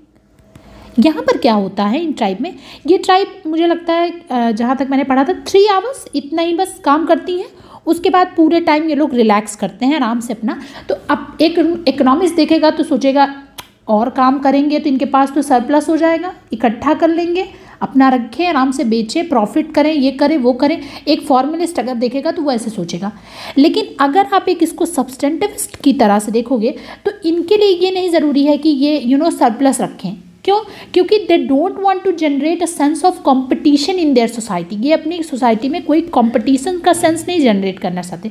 ये चाहते हैं कि इनका उतने में जितने में काम हो जा रहा है डेली खाना पीना हो जा रहा है ज़रूरी नहीं है कि हम चले इसका सरप्लस इकट्ठा करके रखें फिर ये शुरू हो जाए सोसाइटी में कि किसके पास ज़्यादा है, किसके पास कम है। ठीक है ना? वो ये चीज़ नहीं चाहते। तो सब्टेंटिविस्ट कह रहा है कि सिंपल सोसाइटीज़ में आप इकोनॉमिक प्रिंसिपल का यूज़ नहीं कर सकते। ठीक? ठीक है ना? आई होप आपको समझ में आ गया होगा। कि और मार्शल अब इसको हाँ इसको सपोर्ट किसने किया था? इसको सपोर्ट किया था ये जो तीन नाम आप देख रहे हो यहाँ पर, उन्होंने सपोर्ट किया था। मतलब जॉर्ज डॉल्टन मार्शल शैलिन और कार्ल पॉल पॉलनेन मैंने शुरू में बताया था तो यहाँ पर करेक्ट ऑप्शन जो हो जाएगा, वो तो हो जाएगा ऑप्शन नंबर वन सेकेंड इन सबको मैं हटाती हूँ। ऑप्शन नंबर फोर ठीक है? ये क्या है? यहाँ पर फॉर्मलिस्ट है, बाकी सारे क्या है? सब्सटेंटिविस्ट हैं। और मार्शल शैलिन का तो बहुत अच्छा कोड भी है, इन्होंने कहा था कि tribes are not maximiser they are optimiser ठीक है? ऑप्टिमाइजर ठीक है ना? तो इन्होंने मार्शल शैली ने बहुत अच्छे अच्छे कोड दिए आप पढ़िएगा कभी। तो इन्होंने कहा था कि ट्राइब जो होते हैं वो मैक्सिमाइजर नहीं, इनको सरप्लस नहीं चाहिए। ठीक है ना? तो ये है। आई होप आपको समझ में आ गया होगा। मैंने इसी वजह से आपको एग्ज़ाम्पल के थ्रू समझाया है। अगर फिर भी कोई डाउट हो तो बताइएगा। नेक्स्ट क्वेश्चन देखते हैं twenty five Kids analyze the cockfight in Indonesian of Bali to comprehend the Balinese world view. This is an example for देखिए, यहाँ पर आपको दो तीन चीज़ पता होनी चाहिए, जो नहीं पता है तो मैं बताने चल रही हूँ। देखिए, एक तो क्लिफर्ड गेट्स, इनको कहाँ पढ़ते हैं एंथ्रोपोलॉजी में? और दूसरी, ये जो इनके cock you know cock fight की बात हो रही है, ये क्या है पूरा? देखिए क्लिफर्ड गेट्स ने एक ऐसे लिखा था। ऐसे का नाम था deep play notes on Balinese cock fight okay तो इसको आप नोट कर लीजिएगा क्योंकि अगर यहाँ से क्वेश्चन आ रहे हैं तो हो सकता है कभी ये भी पूछ लिया जाए। और अगर मैं जहाँ तक मुझे याद आ रहा है मुझे ऐसा लग रहा है कि एक पैसेज आया है एंथ्रो के यू you नो know, जो पैसेज आता है नेट के एग्ज़ाम में उसमें यही इसी पे पूरा पैसेज आया है। अगर आप में से कोई जानता होगा तो प्लीज़ उसको शेयर करिएगा। नहीं तो मैं खुद ढूंढूँगी कि इस पर मुझे ऐसा लग रहा है कि किसी ईयर पैसेज आया है सॉल्व करने को, मैंने सॉल्व किया है। ठीक है तो आप लोग प्लीज़ देखिएगा इस पर और अगर मिल जाए तो पढ़िएगा भी उसको पूरा। ओके ये इन्होंने इन्होंने इस यू नो इस ऐसे से क्या समझाया? इस ऐसे का यू नो किसका एग्ज़ाम्पल था? ये इनके थिक डिस्क्रिप्शन का बहुत अच्छा एग्ज़ाम्पल था थिक डिस्क्रिप्शन समझाने के लिए। Okay okay? हम लोग प्रिफर्ड केस को कहाँ कहाँ पढ़ते हैं? जब हम लोग कहते हैं कि symbolic anthropology preferred case interpretive anthropology preferred case और थिक डिस्क्रिप्शन लेकिन थिक डिस्क्रिप्शन का कॉन्सेप्ट इन्होंने यू you नो know, इनका कॉन्सेप्ट नहीं था ऐसा मैं कह सकती हूँ। इसको इन्होंने अडाप्ट किया था। किससे लिया था ये कॉन्सेप्ट लिया था गिलबर्ट रेले से। जो कि एक ब्रिटिश फिलोसफर थे ठीक है? कि एक ब्रिटिश फिलोसफर थे वहाँ से उन्होंने ये कॉन्सेप्ट लिया। देखिए सबसे अच्छा समझते हैं कि थिक डिस्क्रिप्शन का आ, समझने के लिए रेले का ही एग्ज़ाम्पल लेते हैं गिलबर्ट रेले का। इन्होंने कैसे समझाया? इन्होंने कहा कि अगर कोई इंसान ब्लिंक कर रहा है अपनी आइज़ को और विंक कर रहा है दो अंतर। मतलब आप अपनी आँख की पलकों को झपका रहे हैं यू नो आई अपनी आईलिड ऊपर नीचे कर रहे हैं। एंड सेकेंड वन इज़ कि आप यू नो विंक कर रहे हैं। यू you नो know, जिसको कहते हैं आँख मारना हम लोग अगर मैं आपको एकदम समझाऊँ। एकदम यू नो एकदम सिंपल वर्ड्स में। तो दोनों की मीनिंग में अंतर है। ब्लिंक हर कोई करता है, हर आप दो सेकेंड में करते हो तो आप मतलब इस, ये तो कोई नॉर्मल सी बात है, अगर कोई विंक अगर आपको कोई देख के कोई ब्लिंक कर रहा है तो नॉर्मल सी लेकिन अगर कोई किसी को देख कर विंक कर रहा है, ठीक है, आँख मार रहा है तो उसकी कई मीनिंग्स हो सकते हैं। ना? हो सकता है कि कोई सीक्रेट यू नो शेयर हो रहा है दो इंसान के बीच में। या फिर हो सकता है कि आ, आ, मतलब आ, कोई आप कोई सीक्रेट कोड आप यू नो या फिर आप कोई यू नो कोई चीज़ आप कंडक्ट करने चल रहे हैं और वो आ, आप उसका यू you नो know, एक तरीके से मैसेज आप पास कर रहे हैं ठीक है? आप एक मैसेज दे रहे हैं तो कुछ भी उसकी मीनिंग यहाँ पर हो सकती है ठीक है ना? तो यही चीज़ समझाने के लिए आ, क्लिफर्ड गेस थिक डिस्क्रिप्शन का हेल्प यही चीज़ समझाने की कोशिश करते हैं कि जब भी हम किसी सोशल एक्शन को देखें, कोई भी सोशल एक्शन आप देख रहे हो तो हमें उसके कॉन्टेक्स्ट को समझने की बहुत ज़रूरत है। किसी भी सोशल बिहेवियर सोशल एक्शन को आप देखो तो आप उसके कॉन्टेक्स्ट की भी बात करो सो दैट कि अगर कोई आउटसाइडर उसे देखे तो उसे भी समझ में आए कि अच्छा ये चीज़ इसका क्या सोशल कॉन्टेक्स्ट है, ये किस कॉन्टेक्स्ट में हो रहा है। ठीक है ना? आई होप आपको समझ में आ रहा होगा थिक डिस्क्रिप्शन है क्या? कि जब भी कोई सोशल एक्शन हो रहा है तो उसके कॉन्टेक्स्ट की भी बात करिए सो दैट कि एक आउटसाइडर को भी उसकी मीनिंग समझ में आए। ठीक, वो उसको जज ना करे। जैसे कि हम लोग कल्चर रिलेटिविज्म में जो चीज़ कहते हैं कि उनके पर्सपेक्टिव से चीज़ें देखिए तो वही सेम चीज़ यहाँ पर थिक डिस्क्रिप्शन में बात हो रही है कि जो उसका कॉन्टेक्स्ट है, उसकी भी बात करिए सो दैट कि एक आउटसाइडर भी उसको समझ सके। ओके अब आते हैं अपने क्वेश्चन पर। ओके यहाँ पर अगर आप क्वेश्चन में देखो तो ऑप्शन में क्या क्या है? हारमोन्यूटिक्स है कल्चरल फोकस है कल्चरल इंटरप्रिटेशन है और पोस्ट मॉडर्न अप्रोच है। देखिए, यहाँ पर जो करेक्ट ऑप्शन है, वो है हारमोन्यूटिक्स अब अगर आप में से कोई हारमोन्यूटिक्स का मतलब जानता होगा, थोड़ा बहुत पढ़ा होगा तो वो जान जाएगा। देखिए हारमोन्यूटिक्स क्या होता है? सोशियोलॉजी में हम इसको पढ़ते हैं। सोशियोलॉजी में हमें बहुत अच्छे से पढ़ाया जाता है ये चीज़। तो अगर आपने पढ़ा होगा तो आप जानते होंगे। या फिर अगर आपने गिट्स को पढ़ा होगा तो वहाँ पर आपने हारमोन्यूटिक्स में पढ़ा होगा। क्योंकि हारमोन्यूटिक्स में भी यही एग्ज़ाम्पल दिया जाता है क्लिफर्ड गिट्स का। इनके कॉक फाइट वाला जो ये पूरा है ऐसे, इसी का एग्ज़ाम्पल दिया जाता है हारमोन्यूटिक्स हारमोन्यूटिक्स का अगर अब मैं एकदम आपको लिटरल मीनिंग बताऊँ कि इसका एकदम आसान मीनिंग तो आप समझिए अंडरस्टैंडिंग होता है। ठीक है? हारमोन्यूटिक्स जब ये आया तो इसका बेसिकली यूज़ स्टार्टिंग में होता था रिलीजियस टेक्स्ट के लिए, जैसे अब बाइबल की स्टडी के लिए, ठीक?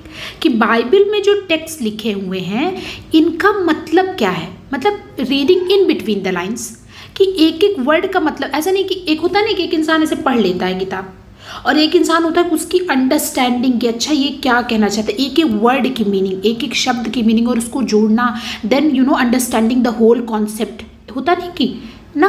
एक होता है कि आपको थीरी आपने पढ़ ली थीरी आपने रट ली, और एक होता है कि नहीं, उस थीरी की आपको एक एक चीज़ पता है कि अच्छा ये थीरी का क्या मतलब है।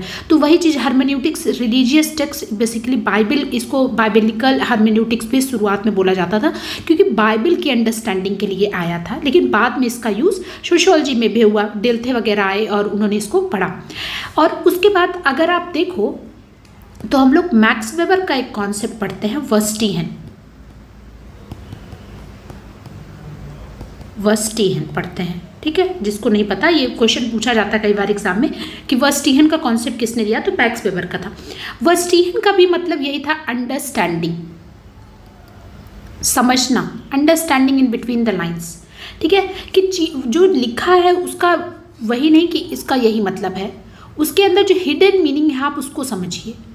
और यही सेम चीज़ अगर आप देखो तो ये जो कॉक फाइट वाला पूरा यू you नो know, ये बता रहे हैं अपने ऐसे में प्रिफर गिफ्ट तो वो हर्मेन्यूटिक्स यहाँ पर हर्मेन्यूटिक्स ही है कि वो जो सोशल एक्शन हो रहा है वो जो यू you नो know, दो दो कॉक आपस में यू नो भिड़ा लड़ाया जा रहा है उनको उनकी फाइट हो रही है वो उस सोशल एक्शन की क्या मीनिंग है क्या उसकी हेडिंग हिडन मीनिंग है और साथ ही साथ उसका सोशल कॉन्टेक्स्ट क्या है कि वो किस सोशल कॉन्टेक्स्ट में हो रहा है आप ये पता करो आप ये जानो ठीक है? तो यहाँ पर इसी वजह से करेक्ट ऑप्शन क्या हो जाएगा? हारमेन्यूटिक्स हो जाएगा ऑप्शन नंबर ए ठीक है ना? आई होप आपको ये सब समझ में आ गया होगा और ये सब चीज़ें अच्छे से समझ में आ गई होगी, ठीक?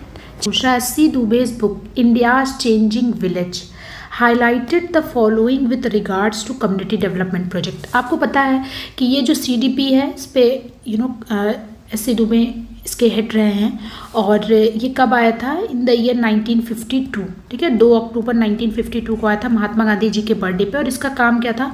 इसका वर्क था सोशियो ये प्रोजेक्ट आया था किस लिए? Socio economic development of rural India आप कह सकते हो कि रूरल पार्ट ऑफ़ इंडिया आपको पता है कि आफ्टर पार्टीशन और इंडिपेंडेंस के बाद इंडिया कितना ज़्यादा पावर्टी यू नो फेस कर रहा था और स्पेशली जो हमारा रूरल पार्ट ऑफ़ इंडिया था, वो कुछ ज़्यादा ही पावर्टी यू नो फेस कर रहा था प्रॉब्लम्स फेस कर रहे थे वहाँ के लोग हमारे जो विलेजेस में यू नो इंडियंस रह रहे थे तो उनके यू नो उनके अच्छे, उनके बेटरमेंट के लिए ये प्रोजेक्ट चलाया गया था कि कैसे उनके सोशियो इकोनॉमिक बेटरमेंट हो पाए।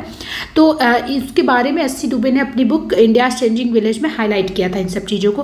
तो आपसे पूछ आपसे पूछा जा रहा है कि एस सी दुबे ने अपनी बुक इंडिया चेंजिंग बिलेट में हाईलाइट क्या किया था with regard to C D P ठीक तो उन्होंने उन, उनका मेन फोकस आपको पता है बींग एन एंथ्रोपोलॉजिस्ट क्या होगा इंपॉर्टेंस ऑफ़ कल्चरल फैक्टर्स ठीक कि कल्चरल फैक्टर्स कैसे एक इंपॉर्टेंट रोल प्ले करते हैं in the socio economic development of rural people ठीक है? ओके okay, सो so आपको ये चीज़ पता होनी चाहिए। अच्छा इस, आ, इसको किस यूनिट में हम लोग पढ़ते हैं? जब लोग इंडियन एंथ्रोपोलॉजी में डेवलपमेंटल स्टडीज़ पढ़ते हैं डेवलपमेंटल एंथ्रोपोलॉजी आप बोल सकते हो। आपको पता है कि एक इलेक्टिव सब्जेक्ट हमें पढ़ना होता है, जिन बच्चों ने डेवलपमेंटल एंथ्रोपोलॉजी लिया होगा, उनको ये क्वेश्चन आना चाहिए। बिकॉज़ अगर आप इग्नू की भी नोट्स देखोगे, इसकी डेवलपमेंटल एंथ्रोपोलॉजी की तो वहाँ पर इसको as a case study India changing village को एस को वहाँ पर दिया गया है, ठीक? तो अगर आप पढ़ना चाहो तो वहाँ से पढ़ भी सकते हो। Question number twenty seven question number twenty seven आपसे पूछा the author of the book caste and race in India is very easy आपको आसानी से आना चाहिए। तो करेक्ट ऑप्शन कौन है? The very famous G S Ghurye okay इनकी एक बुक और है सेम सिमिलर बुक अच्छा ये बुक आई, कब आई थी? इन द ईयर 1932 आपको पता होना चाहिए। एक सेम बुक और है कंफ्यूज नहीं होना है। Caste and class in India ठीक? Caste and race and caste and class in the year 1957 ये भी बुक किसी, किसकी है? जी एस गुरे जी की है, ठीक है? तो जी एस गुरे की दो बुक दोनों बुक हैं caste and race in India and caste and class in India बस ईयर 57 32 एंड 57 ठीक? दोनों बुक क्लास और रेस दोनों इन्हीं की है कन्फ्यूज़ नहीं होना, ये भी पता रहना चाहिए। ब्राइट प्राइज इंक्लूड्स गुड्स और money given to the bride's kin by the groom or his kin at or before the marriage. Some anthropology prefer to use term bride wealth because, देखिए bride price से related question पहले ये समझते हैं कि bright price क्या होता है, जिन बच्चों को नहीं पता। यहाँ पर डेफिनेशन वैसे लिखी हुई है कि ब्राइट प्राइस क्या होता है? वो गुड्स और मनी होते हैं, वो सामान और पैसे होते हैं, जो कि कौन किसको देता है? जो कि ग्रूम की फैमिली वाले। डावरी का उल्टा है, ठीक है? डावरी में क्या होता है? ब्राइड की फैमिली वाले ग्रूम की मतलब दुल्हन के परिवार वाले दूल्हे की फैमिली को देते हैं। यहाँ पर क्या हो रहा है? ग्रूम या फिर उसके किन जो है, वो किसको देंगे? ब्राइड्स के किन को देंगे। ठीक है? ठीक ब्राइड की फैमिली को देते हैं ये मनी और गुड्स ठीक? क्यों देते हैं? क्योंकि देखिए, अब जैसे लड़की वाले का क्या, इसके पीछे वो क्या है? यू नो इसका कॉन्टेक्स्ट क्या है? क्यों देते हैं? क्योंकि बिकॉज़ फैम जो ब्राइड की फैमिली वाले हैं, उनका कहना होता है कि आप आप भाई, मेरी ये बेटी थी ये लेबर करती थी इससे पैसे आते थे, अब आप इसको शादी करके ले जाओगे तो हमारे यहाँ तो एक मैनुअल पावर की कमी हो जाएगी, ठीक है? तो उसके बदले ये समझिए कि ये जो है जो ग्रूम है या फिर उसके ग्रूम के फैमिली वाले हैं, वो क्या करते हैं? मनी और गुड्स देते हैं, ठीक? तो किस लिए दे रहे हैं मनी गुड्स जो ये लड़की है इसका, जो राइट ऑफ़ लेबर है और जो इसके रिप्रोडक्टिव राइट्स हैं, उसके लिए इसको जो ग्रूम या फिर ग्रूम की फैमिली वाले हैं, वो पैसे देते हैं, ठीक? अब क्वेश्चन में आपसे पूछा है कि कुछ एंथ्रोपोलॉजिस्ट कहते हैं कि ब्राइट प्राइस जो है, ये टर्म नहीं यूज़ करना चाहिए। क्यों नहीं यूज़ करना चाहिए? देखिए, मैं आपको सीधे बताती हूँ। वो लोग इसलिए कहते हैं कि प्राइस वर्ड को आप रिप्लेस कर दीजिए वेल्थ से बिकॉज़ इस पर आपको जेस्टर पर, यहाँ पर एक प्राइस वर्सेस वेल्थ करके एक यू you नो know, आपको आर्टिकल पढ़ने को मिलेगा। उसमें इमांस प्रचार डाल्टन इन सब के बारे में आप प्लीज़ उसको पढ़िएगा टाइम मिले। तो वहाँ पर ये लोग वहाँ पर मतलब ये इसलिए कहा जाता है बिकॉज़ कहा जाता है कि आप यहाँ पर ना ब्राइट को एज कम्युनिटी दिखा रहे हो। ठीक, एक सामान की तरह। जैसे यू नो वेस्ट में होता है कि आप कोई चीज़ सामान खरीदते हो तो आप उसकी प्राइस लगाते हो, आप यू नो तो वो सही नहीं है, ठीक है? तो इस वजह से इस यहाँ पर कहा जाता है कि आप प्राइस वर्ड यूज़ ना करके आप यहाँ पर वेल्थ वर्ड यूज़ करिए, ठीक? अलग अलग तरीके की जगह, अब देखिए, अब बहुत, अब तो अगर आप अभी देखो तो बहुत वर्ड यूज़ किए जाते bride price wealth token bride service, ऐसे तरीके के वर्ड यूज़ किए जाते हैं, ठीक है? तो बेसिकली यहाँ पर जो क्वेश्चन है तो मैंने आपको बता दिया कि प्राइस का वर्ड क्यों कहा जाता है कि आप you know you should replace the word price by bride price by bride wealth ठीक? तो अब ऑप्शन पढ़ते हैं it is it is not possible to calculate the value in early society नहीं, ये तो गलत है। सेकेंड देखिए सेकेंड है ऑप्शन की use of the word price is not acceptable as is amount purchase of wife equating her as commodity तो यही मैंने आपको बताया कि आप वहाँ पर उसको वाइफ को क्या एज अ कम्युनिटी आप उसको इक्वेट कर रहे हो, इस वजह से आपको ये टर्म यूज़ ना करके bride you should use the term bride wealth ठीक तो करेक्ट ऑप्शन यही हो जाएगा ऑप्शन नंबर टू ओके ठीक तो आगे को आप price can not be applied to non market economies ऐसा कुछ नहीं है। ठीक, और दूसरा क्या the term wealth is more inclusive नहीं। ठीक, हो गया। Question number twenty nine twenty nine आपसे पूछ रहा है all though societies with matrilineal descent same in many respect like like image of their their counterpart they differ मतलब कि अगर आप देखो तो जो मेट्रीलिनियल डिसेंट सोसाइटीज़ हैं मेट्रीलिनियल पैट्रीलिनियल क्या है? जिसको नहीं पता, अभी बता देती हूँ, पहले यहीं पर, तब आगे बढ़ते हैं। मेट्रीलिनियल और पैट्रीलिनियल सबसे बड़ी बात, सबसे पहली बात जो हर बच्चे को पता होनी चाहिए कि अगर कहीं पर भी मैट्री या पैट्री वर्ड लगा है, इसका मतलब क्या हो मैट्री का मतलब हुआ मदर साइड से बात हो रही है। ठीक? पैट्री वर्ड अगर कहीं पर है तो वहाँ पर फादर की बात हो रही है, फादर साइड की बात हो रही है। जैसे एग्ज़ाम्पल लेते हैं पैट्री आर्कल मैट्री आर्कल ठीक है? ठीक? या फिर पैटर्निटी। पैटर्निटी टेस्ट कहते नहीं पैटर्निटी टेस्ट कराया जा रहा है डीएनए टेस्टिंग हो रही पैटर्निटी के लिए। तो पैटर्नल मेटर्नल वर्ड अगर कहीं पे लगा है तो मेटर्नल का मतलब मदर से है पैटर्नल का मतलब फादर से है, पहली चीज़ तो आपको ये पता नहीं। दूसरा वर्ड यहाँ पर लगा है मैट्रिक के बाद लीनियर लीनियर का मतलब क्या हो? लीनियज लीनियज आप पढ़ते हैं ना? वंश। आप ये सब पढ़ते हो ना? क्लान लीनियज तो मतलब है कि मैट्रीलिनियल का मतलब हुआ कि आप अपना जो लीनियज देख रहे हैं, वो किधर से देख रहे हो? अपनी मदर की तरफ़ से। अपनी नानी की तरफ़ से माँ की तरफ़ से माँ नानी दिन अलग अलग अब पैट्रीलिनियल के मतलब कि आप जो अपना यू you नो know, आप जो अपनी जीनियोलॉजी देख रहे हो वो किधर से देख रहे हो? अपने फादर की साइड से। अब क्या कह रहा है कि ऑल दो societies with matrilineal descents seems in many respect like mirror image of their patrilinear counter part कि आ, कुछ जगह अगर आप देखो तो जो मैट्रीलिनियर पैट्रीलिनियर सोसाइटीज़ है ये अपनी मेरर इमेज मतलब एक दूसरे एक दूसरे की सिमिलर ही दिखती हैं। लेकिन ये कहाँ डिफर करती हैं आपसे पूछा जा रहा है, ठीक? आई होप आपको क्वेश्चन समझ में आ गया और ये टर्मिनोलॉजी समझ में आ गई। Matrilinear descent and patrilinear descent अब देखिए तो अब ऑप्शंस देखते हैं। Their distribution across Africa and Asia गलत। Their economic organization and production of surplus same ही होता है। Nearly believes and ritual where one gender is preferred नहीं। Lines of authority and descent not converging यही correct option होना चाहिए option number fourth कि यहाँ पर क्या होगा लाइन ऑफ़ अथॉरिटी अलग होती है पेट्रीलिनियल में अलग अथॉरिटी होगी यू नो मेट्रीलिनियल में आपको पता है कि आपके जो अंकल होते हैं, आपके जो मामा होते हैं, उनकी अथॉरिटी होती है, और पेट्रीलिनियल में आपके फादर या फिर फादर आपके ग्रैंड फादर उनकी अथॉरिटी होगी, और डिसेंट कभी कन्वर्ज नहीं करेंगे, ठीक है, एक साथ। तो correct option will be option number four thirty आपसे पूछ रहा है direct access to land is the prime test of tribal organization The larger the production of a given group in India that has direct access to land, the closer that group is to a tribal organization. This view was express by मतलब ये किसका view है ठीक है? कि direct access to land in India is the prime जो है test है ट्राइबल किसी भी ट्राइबल ऑर्गेनाइजेशन का। और जितना कोई भी tribe you know tribe India में जितनी ज़्यादा उसका डायरेक्ट एक्सेस लैंड होगा वो उतनी क्लोजर होगी किसके ट्राइबल काइंड ऑफ़ ऑर्गेनाइजेशन के ठीक? तो ये चीज़ किसने किसके व्यू है? एफ़ जी बेडी के व्यू है ठीक?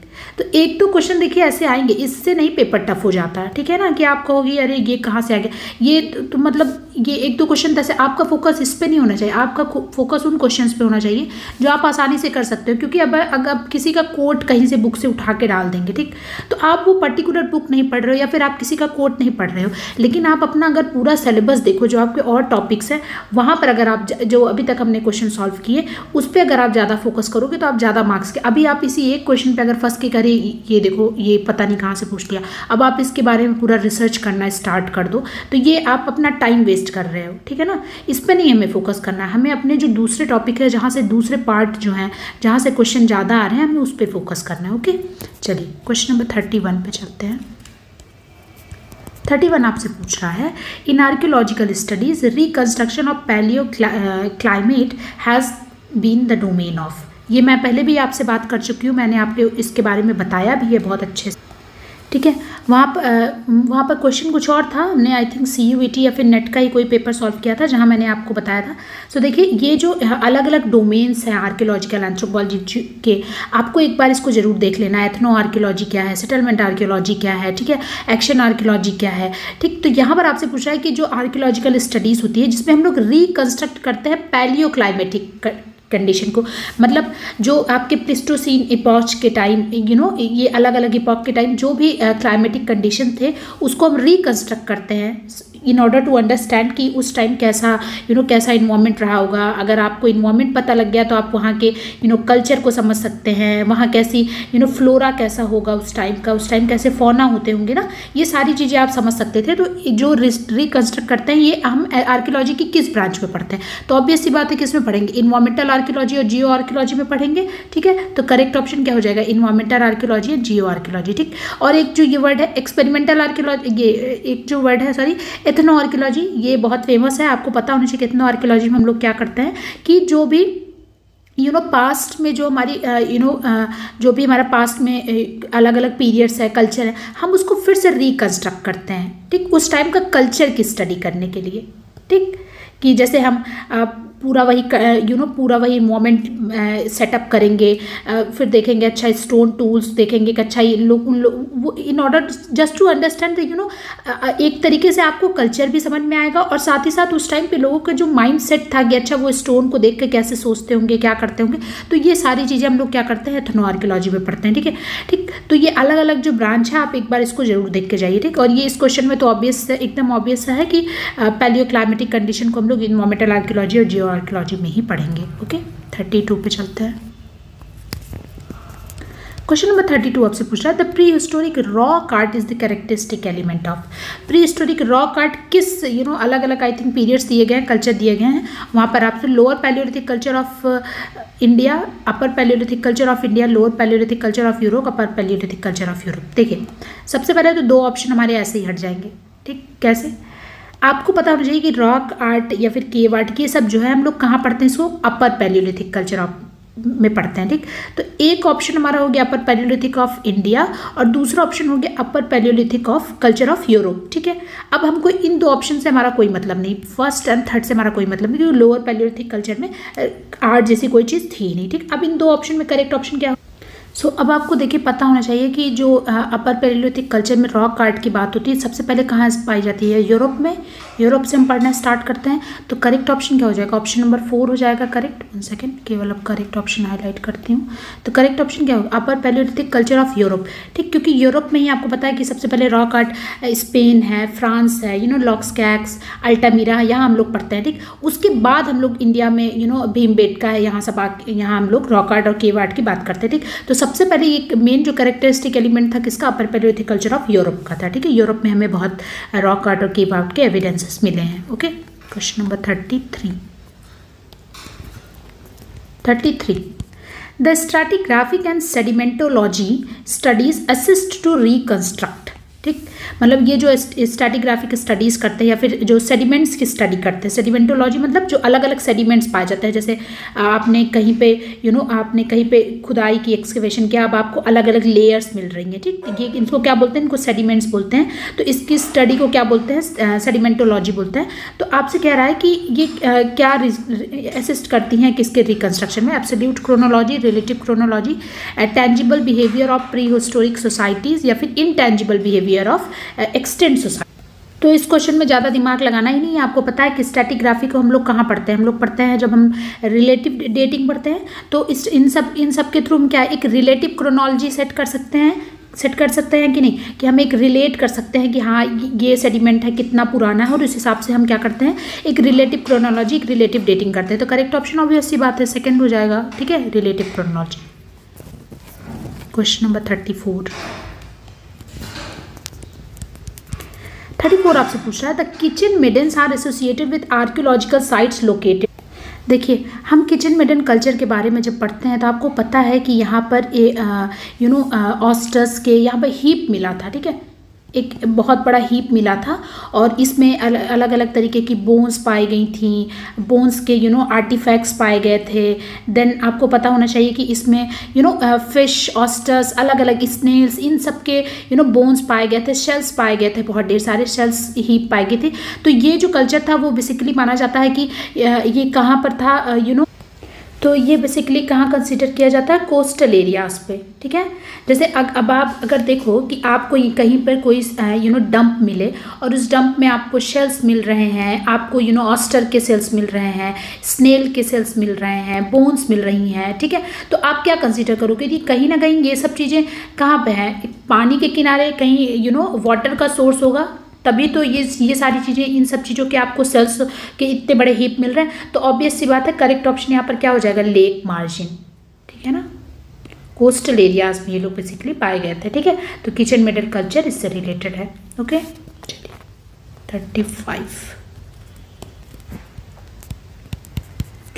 the bronze figures of dancing girl was unearth from the rooms तो ये तो सबको पता होना चाहिए कि डांस सिंगल कहाँ से मिली थी। मोहन जोदारो से बहुत इजी और बहुत फ़ेमस क्वेश्चन है, ठीक? Thirty six question number thirty six आपसे पूछ रहा है। Based on the presence of twenty one percent to forty five percent reworked flakes in the stone age assemblages west of Aravalli hills ranges professor V N Misra name the industry as ठीक है मतलब जो twenty one से forty five percent rework flakes flakes मिले थे in the stone age of you know assemblies of west of Aravalli hills तो उस basis पर प्रोफेसर वी एन मिश्रा ने इस इंडस्ट्री का नाम क्या दिया था? Rohri industry Nevasian industry Luni industry या फिर अरावली इंडस्ट्री तो उसका नाम दिया था वी एन मिश्रा ने, Luni industry okay? okay? Question number thirty seven देखते हैं। क्वेश्चन नंबर थर्टी सेवन आपसे पूछ रहा है।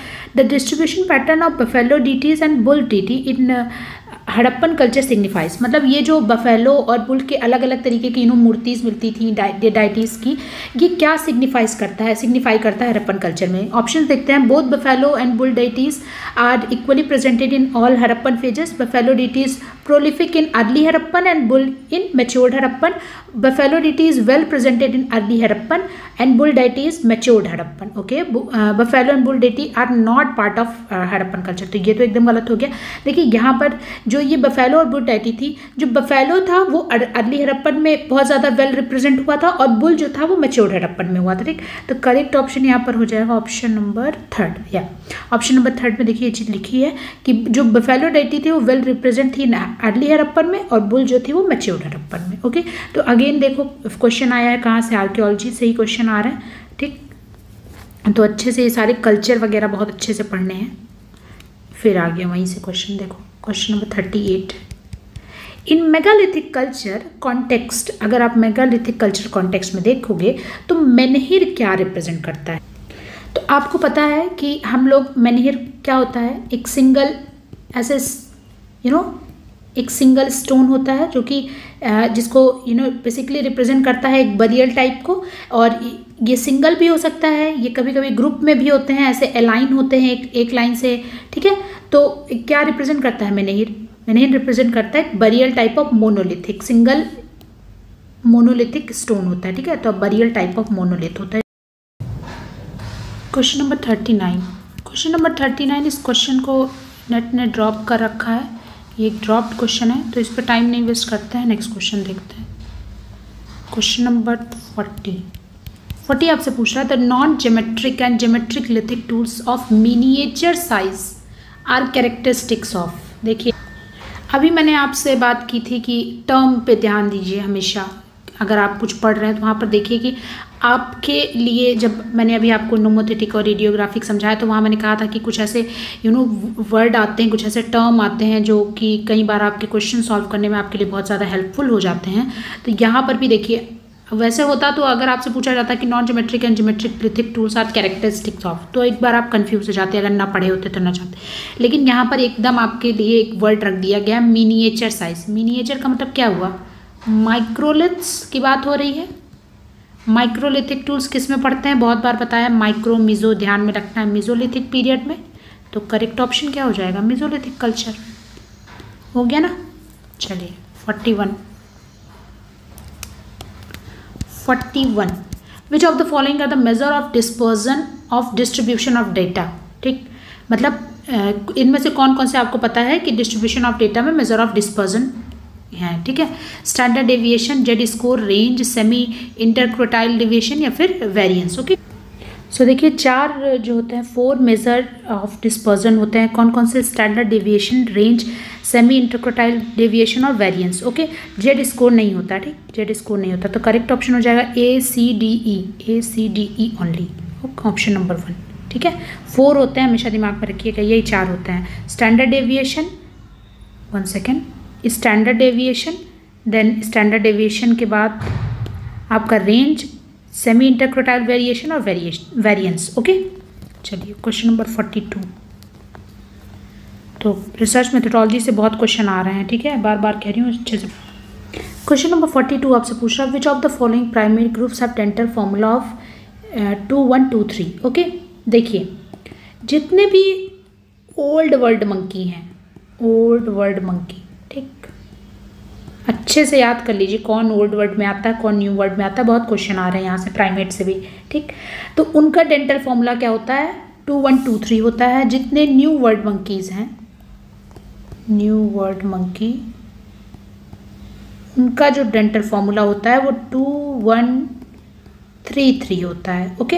अब इसमें से ओल्ड वर्ड मंकी अच्छा ओल्ड वर्ड मंकी में आपको पता है old world monkey apes plus human ठीक है? इनका जो डेंटल फॉर्मूला होता है, वो क्या होता है? टू वन टू थ्री होता है। इतना दिमाग में रखना है। और जो न्यू वर्ड मंकी उनका कितना होता है? टू वन थ्री थ्री होता है। तो अब इसमें से अगर आप देखो तो मैंड्रिल जापानीज मकैक और गिब्बन, ये क्या हो जाएँगे? ये सारे आ जाएँगे किसमें? आपके टू वन टू थ्री में आ जाएँगे। और लास्ट के अगर आप दो देखो marmosets and capuchin monkey capuchin monkey या फिर स्क्वायरल मंकी ये सब किसमें आते हैं? ये सब न्यू वर्ड मंकी में आते हैं। तो करेक्ट ऑप्शन यहाँ पर क्या हो जाना चाहिए? Option number A B C किसमें है? Second option A B C sorry one second option number two that is A B C ठीक है ना? चलिए फोर्टी थ्री फोर्टी थ्री ये मैंने क्वेश्चन नंबर फोर्टी थ्री देखिए ये क्वेश्चन मैंने सी यू टी में उस दिन आपको बताया था which of the following are consider as not parametric test वहाँ मैंने आपको बताया था, मैंने कहा था कि आपको नेम पे फोकस करना है नेम बड़ा है कि छोटा है, ठीक है? अब आपको यहाँ पे क्या पूछा जाए? नॉन पैरामेट्रिक टेस्ट पूछे जा रहे हैं। तो यहाँ पर करेक्ट ऑप्शन क्या हो जाएगा? आपको पता है कि मैंने उस दिन आपको बताया था जेड टेट टी टी टेस्ट ये जितने जिनके नेम यू नो छोटे छोटे हैं, वो किसमें आते हैं? वो पैरामेट्रिक में आते हैं, बड़े नेम वाले नॉन पैरामेट्रिक में आते हैं। तो यहाँ पर करेक्ट ऑप्शन क्या हो जाएगा? आप फ़र्स्ट हटा दो इनोवा हटा दो इनोवा पैरामेट्रिक है इसके अलावा। जो है बी सी डी ये सब सारे क्या हो जाएँगे? ये सब नॉन पैरामेट्रिक टेस्ट में आते हैं तो करेक्ट ऑप्शन क्या हो जाएगा? B C D E only तो option number four is the correct option हो जाएगा नॉन पैरामेट्रिक टेस्ट में। उस दिन सी यू वाले पेपर में मैंने आपको ये बहुत अच्छे से समझाया था। फोर्टी फोर आपसे पूछ रहा है the super family hominoidea includes मतलब होमिनोइडिया के अंदर कौन कौन आता है, ठीक है? अब देखिए, मैं यहाँ पर आपको, मैंने आपको पहले भी कहा है कि प्राइमेट का कुछ नहीं तो एटलीस्ट आप प्राइमेट का क्लासिफिकेशन तो आपको एटलीस्ट आना चाहिए, ठीक है? बहुत बच्चे को ये टॉपिक बोरिंग लगता है। बट uh, आप एटलीस्ट प्राइमेट का क्लासिफिकेशन आपको आना चाहिए ठीक? कई बार आपके क्वेश्चन ऐसे ही सॉल्व हो जाएँगे जैसे जिन बच्चों को यू नो यहाँ पर ये पूरा क्लासिफिकेशन पता होगा वो ये क्वेश्चन आराम से कर लिए होंगे ठीक? तो अब मैं आपको बताती हूँ होमिनोइडिया कैसे क्लासीफाई होता है? होमिनोइडिया को जब हम क्लासीफाई करते हैं कुछ ऐसे लिखती हूँ ठीक है? ये होमिनोइडिया है इसको क्लासीफाई करते हैं। तो एक हो जाता है हाइलोपेटरी और दूसरा आ जाता है होमिनिडी हाइलोबैटिटी में सिंगल कौन मेंबर है इसका? गिब्बन. और होमिनिडी में कौन कौन आता है? होमिनिडी सेकेंड होमिनिडी को फर्दर आप ऐसे क्लासिफाई कर सकते हो. एक तो इसमें ग्रे टेप्स आ जाते हैं और ह्यूमन ओके तो जैसे आपसे यहाँ पूछ लेता कि होमिनिडी में कौन आता है? तो होमिनिडी में केवल एप्स और कौन हो जाता है? ह्यूमंस हो जाते हैं, ठीक है? लेकिन पूरा आपसे पूछ रहा है कि होमिनोइडिया में कौन है? तो हाइलोबेटेडी प्लस होमिनिडी ओके अब इसमें कौन कौन है? ग्रेट एप में आपको पता होना चाहिए औरंगुटान औरंगुटान गुरिल्ला चिम्स और एक और, जिसको आप लोग ज़्यादातर यू नो बच्चे नेग्लेक्ट करते हैं बोनोबॉस ठीक? तो ये चार याद करने और इधर तो ह्यूमन है ही, ठीक? तो यहाँ पर अब क्वेश्चन में अगर आप देखो तो करेक्ट ऑप्शन कौन हो जाएगा? गुरिल्ला चिंपांजी और गिब्बन। इसके अलावा अगर इनमें से कोई और होता यू नो औरंगटान होता या बोनोबॉस होता या ह्यूमन होता तो वो भी हमारे करेक्ट ऑप्शन में शामिल होता, ठीक? तो यहाँ पर करेक्ट ऑप्शन क्या हो जाएगा? ऑप्शन नंबर थर्ड ना? कहाँ गया? थर्ड ए बी और सी ठीक? ये। नहीं तो बच्चे गलत समझ ले ए बी और सी ठीक है? ऑप्शन नंबर थर्ड ठीक, चलिए नेक्स्ट क्वेश्चन देखते हैं question number forty five which of the following sites of South Africa yielded hominid fossil कौन सी साइट है साउथ अफ्रीका की जहाँ से एक होमिनिट फॉसिल्स मिले? मैंने आपको पिछले क्वेश्चन में भी ये चीज़ समझाया कि जब भी आप कहीं किस, कहीं भी साइट पढ़ रहे हैं तो आप प्लीज़ अगर आप इंडिया की साइट पढ़ रहे हैं तो आप ये पता करिए कि वो किस स्टेट से बिलोंग कर रही है इंडिया के। अगर आप वर्ल्ड में कहीं की साइट पढ़ रहे हैं तो आप ये पता करिए कि वो किस कंट्री से बिलोंग कर रहा है, ठीक है? किस कंट्री से क्या हो जाता है बीच बीच में? किस कंट्री से बिलोंग कर रहा है, ठीक है? क्योंकि कई बार देखिए, अब ऐसे क्वेश्चन जैसे इस क्वेश्चन पूछ ले रहा है साउथ अफ्रीका की कौन सी साइट्स हैं, ठीक? ऐसे आपसे क्वेश्चन में पूछ लेता है कि मैप पे अरेंज करिए ईस्ट टू वेस्ट अरेंज करिए, ठीक? तो अगर आप अगर आप ऐसे ऐसे पढ़ेंगे तो आपके लिए बहुत हेल्प होगी, ठीक है ना? चलिए, अब क्वेश्चन पे आते हैं। तो यहाँ पर देखिए बॉर्डर केव ये भी क्या है? साउथ अफ्रीका में है, ठीक है? क्लासिस रिवर माउथ ये भी क्या है? साउथ अफ्रीका में है। सल्दना ये भी कहाँ है? साउथ अफ्रीका में है। ये तीनों साइट कहाँ से बिलोंग करती हैं? साउथ अफ्रीका से। लेक मुंगो ये कहाँ की साइट है? ऑस्ट्रेलिया की, जहाँ से मुंगो मैन मिला था, अगर आप में से कोई पढ़ा हो, ठीक है? और मिडिल अवाश ये कहाँ की साइट है? इथोपिया की है। इथियोपिया की है। और आपको पता होना चाहिए कि जो हदर रीजन है, जहाँ से ऑस्ट्रोपिथेकस लूसी जहाँ से डिस्कवर हुआ है, वो वो यहीं इसी एरिया में ये जगह आती है। ठीक है हदार तो अगर आप ऐसे पढ़ोगे तो आपके लिए बहुत ज़्यादा हेल्प होगी कि साइट पढ़िए तो वो किस कंट्री से बिलोंग करती है, ये ज़रूर पढ़िए। ठीक है? चलिए तो यहाँ पर करेक्ट ऑप्शन हो जाएगा क्या? ए बी और सी ए बी और सी मतलब ऑप्शन नंबर फोर ठीक है? चलिए फोर्टी सिक्स फोर्टी सिक्स आपसे पूछ रहा है which of the following points are correct in relation to the classification of Indian races by S Sarkar तो इसके पहले वाले क्वेश्चन में हमने रिस्ले को डिस्कस किया था, ठीक है? अब हम लोग डिस्कस करेंगे एस सरकार को, ठीक? चलिए देखते हैं। सो एस एस सरकार का जो क्लासिफिकेशन था ऑफ़ इंडियन पॉपुलेशन वो किस ईयर में आया था? वॉज़ इन ईयर 1954 ठीक है? 1954 में एस सरकार जो है, वो क्लासीफाई करते हैं इंडियन पॉपुलेशन को। किस बेसिस पर? जैसे रिस्ले ने मैंने आपको बताया था एंथ्रोप एंथ्रोपोमेट्रिक मेज़रमेंट पे किया था। तो इन्होंने किस पे किया था? सिफैलिक इंडेक्स पर। सिफेलिक इंडेक्स पर क्लासीफाई किया था। ओके कितने टाइप्स में क्लासीफाई किया? सिक्स सिक्स एथनिक ग्रुप्स में। ओके नाम कौन कौन से हैं? यही बता देती हूँ आपको। यहीं पर बताती हूँ, यहीं पर याद कर लीजिए। जैसे वहाँ पर याद किया था? जैसे यहाँ पर। वहाँ कितने थे? सेवन थे। यहाँ कितने रिस्ले में कितने थे? सेवन इनमें कितने हैं? सिक्स पहला है Australoid second one is Indo Aryan third one is Irano Scythian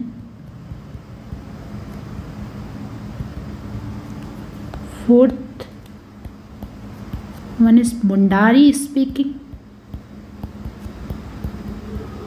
Mundari speaking समझ लीजिएगा। Fifth is far eastern far eastern and last one is Mongolian okay तो ये छः यू नो तरीके से इन्होंने इंडियन पॉपुलेशन को क्लासिफाई किया on the basis of cephalic index cephalic index को इन्होंने तीन पार्ट में यू नो डिवाइड करा। कौन कौन से थे? पहला इस डॉलिकोसिफेलिक, जो यहाँ पर अभी आपके क्वेश्चन में ये टर्म आए हैं मिजोसिफेलिक ब्रैकिसिफेलिक एंड ये। ठीक है, डॉलिकोसिफेलिक। अब इसका मतलब क्या होता है? यहाँ लिखती नहीं हूँ, बता देती हूँ, क्योंकि ऑलरेडी यहाँ पर ये टर्म है तो वैसे भी मुझे आपको बताना था इसका मतलब क्या हुआ। देखिए, इन्होंने सिफेलिक इंडेक्स पे बेसिस पे बताया कि जो हेड का साइज़ है, वो अलग अलग होता है, ठीक है? अगर किसी का हेड का साइज़ कहा जा रहा है कि वो डॉलिकोसिफेलिक है दिस मीन्स कि उनका जो हेड है, थोड़ा ब्रॉड है एवरेज साइज़ से ज़्यादा है। मिजोसिफेलिक मतलब medium head size and brachycephalic मतलब शॉर्ट हेड ओके मतलब छोटा हेड है शॉर्ट बट ब्रॉड ठीक है? तो इस बेसिस पे इन्होंने तीन तरीके के हेड साइज़ के बेसिस पे सिफेलिक इंडेक्स के बेसिस पे क्लासिफाई किया पॉपुलेशन को। अब यहाँ पर पढ़ते हैं। पहला कह रहा है, जो ऑप्शन दिया गया है, कि जो इंडो आर्यंस थे वो मिजोसिफल्स थे। नहीं इंडो आर्यंस क्या थे? डॉलिकोसिफल्स में आते थे। इंडो आर्यंस के हेड बड़े होते थे ओके इंडो आर्यंस के, ठीक? लेकिन अगर मिजोसिफस कौन थे तो ईरानो साइथियंस, ये मिजोसिफस में आते। इनकी जो हेड की साइज़ थी, वो मीडियम एवरेज साइज़ थी, ठीक? नेक्स्ट है कि there are six major class racial class elements तो एकदम सही है छः हैं। जैसे मैंने आपको बताया कि छः मेजर रेशियल एलिमेंट्स पे इन्होंने क्लासीफाई किया था।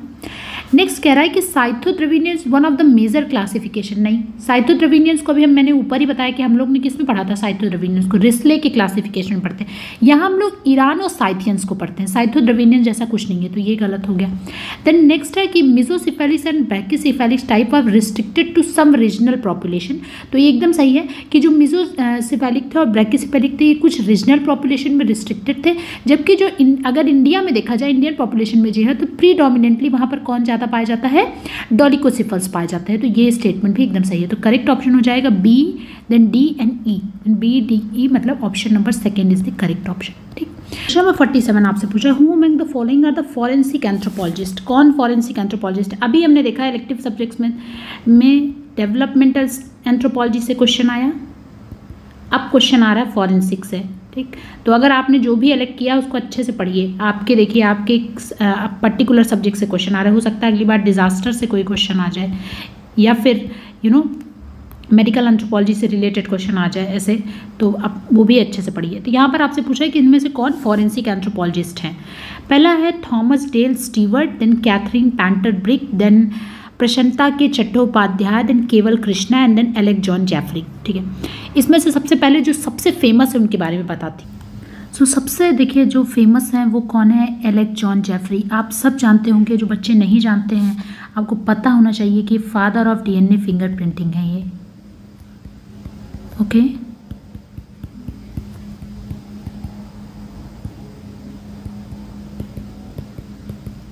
ठीक है? तो इनका नाम तो हटा दो, क्योंकि इनका रोल तो जेनेटिक्स से है, ठीक?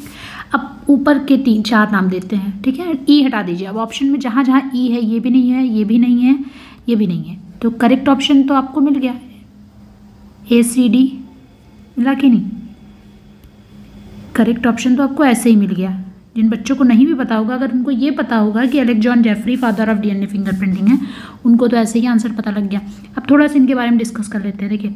थॉमस डेल स्टीवर्ट जो हैं, ये इनको कहा जाता है founder of modern forensic anthropology modern forensic anthropology okay then देखिए, ये बी जो है, ये जो बी ऑप्शन है कैथरीन पैंटरविक ये क्या है, ये एक मेडिकल एंथ्रोपोलॉजिस्ट हैं, इनका नाम याद रखिएगा। और ये इन्होंने ना, जैसे वॉर फेमाइन और इस तरीके की जो सिचुएशन होती है, उस पर इनकी स्टडी है, ठीक? देन प्रशांत के चट्टोपाध्याय और केवल कृष्णन, ये दोनों Indian you know forensic anthropologist हैं, बहुत प्रोमिनेंट नेम्स हैं। और इन ये केवल कृष्णा, ये पंजाब यूनिवर्सिटी से बिलोंग करते हैं। और Prashant K Chattopadhyay right right now I think ये घाना यूनिवर्सिटी में you know as a professor हैं फॉरेंसिक एंथ्रोपोलॉजी के। तो ये दोनों इंडियन है, ठीक है? ये ध्यान में रखिएगा। ठीक है, केवल कृष्णा और प्रशांत के चट्टोपाध्याय तो करेक्ट ऑप्शन हो जाएगा ए सी और डी तो हो गया। और ऐसे भी अगर आपने ई e ऑप्शन हटा दिया यहाँ से तो आप देखिए आपको करेक्ट ऑप्शन ऐसे भी मिल गया। जिन बच्चों को ये पता होता कि एलेक्स जेफरी जो है father of D fingerprinting है तो अभी इसको याद कर लीजिएगा ओके फोर्टी एट पे चलते हैं क्वेश्चन फोर्टी एट आपसे पूछ रहा है who among the following has work in the field of altruism altruism के फ़ील्ड में किसने काम किया है? ओके सबसे पहले आपको बताती हूँ कि एल्ट्यूरिज्म है क्या, जिन बच्चों को नहीं पता। देखिए एल्ट्यूरिज्म क्या है कि जब आप सेल्फलेसली किसी की मदद करते हैं ना, अपने बारे में बिना सोचे आप तुरंत किसी की मदद के लिए दौड़ जाते हैं तो वही चीज़ क्या कहलाती है एल्ट्यूरिज्म कहलाती है। जैसे जैसे आप किस, मान लीजिए किसी बस में ट्रेवल कर रहे हैं और आप आप पूरी बस भरी हुई है, ठीक? लेकिन अगर कोई सीनियर सिटीज़न आता है तो आप बिना सोचे उसके लिए अपनी सीट छोड़ के उसको अपनी सीट पर बैठा दे रहे हैं। तो वो क्या है, वो एक एल्ट्यूरिज्म का एक्ट है। या फिर आप किसी यू नो अगर कोई बेगर आपसे पैसे माँगता है, खाने को माँगता है तो आप तुरंत उसको बिना कुछ सोचे आप उसकी हेल्प कर देते हैं, ठीक है? तो इसको एल्टिविज़म बोलते हैं। अभी कई टाइप का होता है, जैसे रेसिप्रोकल होता है। रेसिप्रोकल एल्टिविज्म का मतलब क्या हुआ? कि किसी ने आपकी मदद की, आपने उसकी मदद कर दी, ठीक है? ऐसे जेनेटिक एल्ट्यूरिज्म होता है, जिन पूछा जा रहा है कि किसने एल्ट्यूरिज्म के फ़ील्ड पे काम किया। चलिए ऑप्शन देखते हैं। पहला ऑप्शन है ऑर्थर कीथ ऑर्थर कीथ बहुत फ़ेमस तो कभी कभी मुझसे ये पेन वाले हाँ ऑर्थर की जो है, कीथ जो हैं, इन, इनको अगर आप लोग नहीं जानते हैं तो आपको जानना चाहिए कि इनका नाम फ़ेमस हुआ है पिल्ट डाउन मैन के साथ। ठीक है? पिल्ट डाउन मैन के साथ। आपको पता है कि पिल्ट डाउन मैन एक जो है साइंटिफिक फ्रॉजरी के रूप में हम लोग पढ़ते हैं तो उन, इनका नाम वहाँ आता है, ठीक है? और दूसरा है J B S Haldane okay इनके बारे में भी बात करेंगे। देन थर्ड अगर ऑप्शन आप देखिए जेन गुडाल ये मैं बता चुकी हूँ, इन्होंने चिंपांजी पे स्टडी की है। मैंने चिंपांजी गुरिल्ला और औरंगुटान का सबका एक साथ डाला था कि आप इसको एकदम याद कर लो। तो एक नाम तो ये हट गया सी हट गया, दूसरा नाम क्या हट गया? ए हट गया। सी कट गया ए हट गया। अब अगर आप ई लास्ट नाम देखें पॉल ब्रोका ये कौन थे?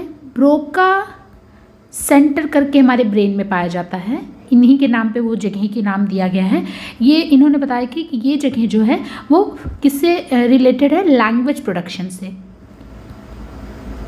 लैंग्वेज हम जो भाषा बोलते हैं, उसकी प्रोडक्शन से ये जगह जो है, क्यों नो इनकी स्टडी से ये रिवील हुआ था कि हमारे ब्रेन में अलग अलग जगह हैं अलग अलग यू नो कंट्रोल सेंटर हैं, जो अलग अलग एक्शन को हमारे यू नो कंट्रोल करते हैं मैनेज करते हैं, ठीक है? तो वो जगह जो हमारी लैंग्वेज को यू नो कंट्रोल करती हैं, वो इनके नाम पर दी गई, जिसको पॉल प्रोका के नाम पर चलिए तो अब बचा कौन? बचे आपके, इनका नाम हटा दो। तो बचे आपके करेक्ट ऑप्शन में कौन? हेल्डेन और डब्ल्यू डी हैमिल्टन अब करेक्ट ऑप्शन तो बी और डी हो गया। अब आप कहोगे, मैम, सबके बारे में बता दी करेक्ट ऑप्शन के बारे में आपने बताया ही नहीं। तो वो पहला जो नाम है जे बी एस हेल्डेन इसके बारे में तो मुझे आपको बताना ही नहीं चाहिए बिकॉज़ मैंने बहुत ज़्यादा बात की, इनके बारे में कहाँ बात की आप पूछोगे।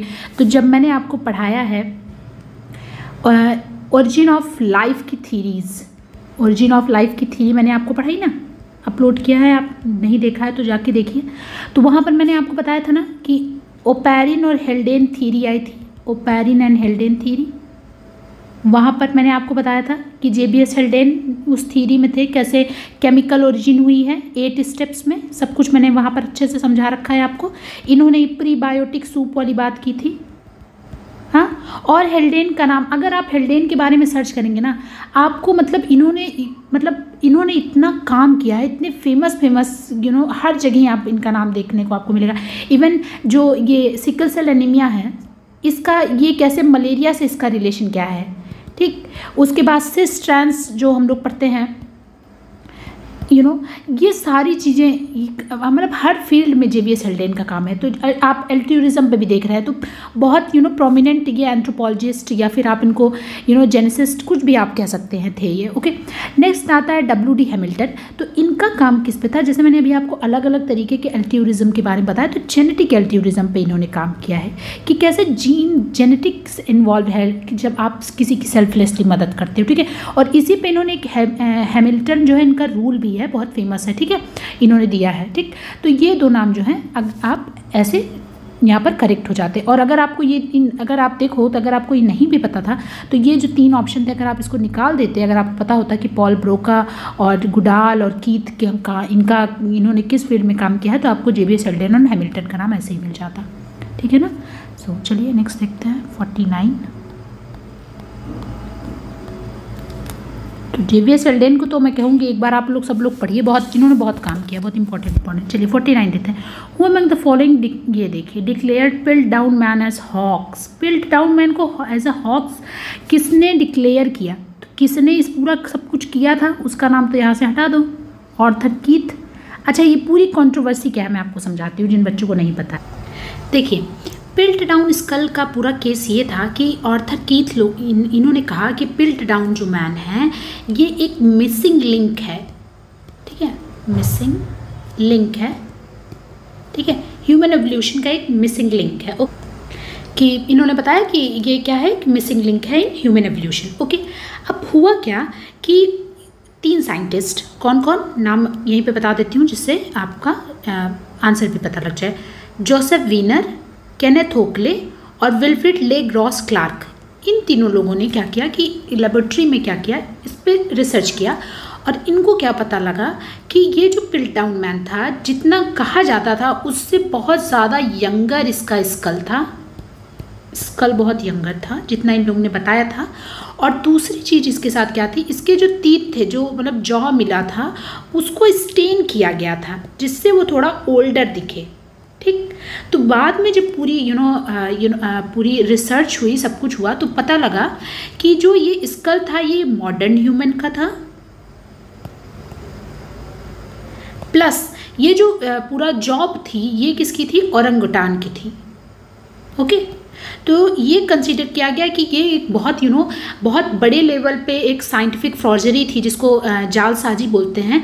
और इस वजह से इसको क्या कहा गया कि Piltdown skull is hoax hoax का मतलब क्या होता है? इसको हिंदी में अगर बोलो तो छल। ठीक है डिसीव करना किसी को, ठीक है? तो ये एक बहुत बड़ा हॉक्स था, इसको कंसीडर किया गया, ठीक? कि मतलब आप किसी दो अलग अलग यू नो स्पीसीज़ की आप एक साथ बोन और स्कल को ऐड करके आप बता रहे हो कि ये मिसिंग लिंक है, ठीक? तो ये पूरी इसकी स्टोरी है बिल्ड डाउन स्कल की, ठीक? आई होप आपको, और इस पर काम किसने किया? जोसेफ वीनर केनेथ होकले और क्लार्क ने, ठीक है? हाँ ईयर क्या था? ईयर 1953 था, ये भी बता दे रही हूँ 1953 में। तो correct option A B C A B C option number second हो जाएगा। इसके अलावा रेमन डर्ट को आप जानते हैं और थर्थ को अगर आप जानते हो तो तब भी आपका ये क्वेश्चन सॉल्व हो जाता कि इन दोनों को तो होना नहीं था, ठीक है? ये दोनों को तो होना नहीं थे ऑलरेडी इसमें इन्वॉल्व थे, ठीक? तो ये ऊपर के तीन जो हैं, वो करेक्ट हो जाते, ठीक? चलिए। क्वेश्चन नंबर हो गया फोर्टीन फिफ्टी आपसे पूछ रहा है which of the following site yielded fossil of archaic sapiens archaic sapiens के फॉसिल कहाँ कहाँ से मिलते हैं? हेजियन कावे ओमो फ्लोरिसबाद और डिमेनिशी ठीक, अब देखिए, पहले बता देती हूँ कौन किस किस कंट्री से बिलोंग करता है। हेजियन कहाँ है? चाइना में है। ठीक कावे कहाँ है? जाम्बिया कंट्री से बिलोंग करता है। ओमो आपको पता होना चाहिए वेरी फ़ेमस इथियोपिया फ्लोरिसबाद ये साउथ अफ्रीका और ये तो मैंने आपको पहले ही बताया, जॉर्जिया। ठीक? इसमें से जो तीन है ये, कॉबे, ओमो और फ्लोरिस, यहाँ से आर्किक सेपियंस के एविडेंस मिलते हैं, ठीक? जैसे कावे जो है, यहाँ से ब्रोकन हिल स्कल मिला था। कभी पूछ ले, ब्रोकन हिल स्कल या फिर इसको कापे वन भी बोलते हैं। तो यहाँ से मिला था जो कि आर्किक सेपियन से बिलोंग करता है देन ओमोस और फ्लोरिस पाथ से, ठीक? देन इसको डेमेंशी या फिर कहीं, कई जगह इसको डी साइलेंट नहीं करते, कहीं कहते हैं तो जो भी आप पढ़ना चाहो। और हेजियन यहाँ से इन ये दोनों जगह फ़ेमस है किसके लिए? होमो इरेक्टस के लिए। तो इरेक्टस में इनको ऐड कर लीजिएगा। ओके तो करेक्ट ऑप्शन क्या हो जाएगा? B C D B C D मतलब ऑप्शन नंबर थर्ड आज की वीडियो में बस इतना ही। नेक्स्ट वीडियो में हम लोग जो अभी तो यू नो बचे हुए क्वेश्चन हैं बिकॉज़ अगर मैं अभी उसको डिस्कस करने लगूँगी तो वीडियो बहुत ज़्यादा लेंदी हो जाएगी। सो so, uh, इसको नहीं करते हैं। नेक्स्ट वीडियो में जो क्वेश्चन नंबर फिफ्टी वन से हम लोग आगे डिस्कस करेंगे। अगर अभी तक जो मैंने समझाया अगर इसमें कोई दिक्कत हो please to write in the comment box section. आप कमेंट बॉक्स में लिख के बताइए अगर आपको कोई भी दिक्कत है कुछ नहीं समझ में आया है। अच्छा क्वेश्चन नंबर टेन मैंने आपके साथ नहीं डिस्कस किया बिकॉज़ वो क्वेश्चन अपने में यू you नो know, एक टॉपिक है ठीक? वैसे तो सारे टॉपिक हैं बट वो क्वेश्चन अपने में टॉपिक है। वहाँ पर मैं आपको शेल्डैन की पूरी जो सोमेटो टाइपिंग है वो मैं बताऊँगी।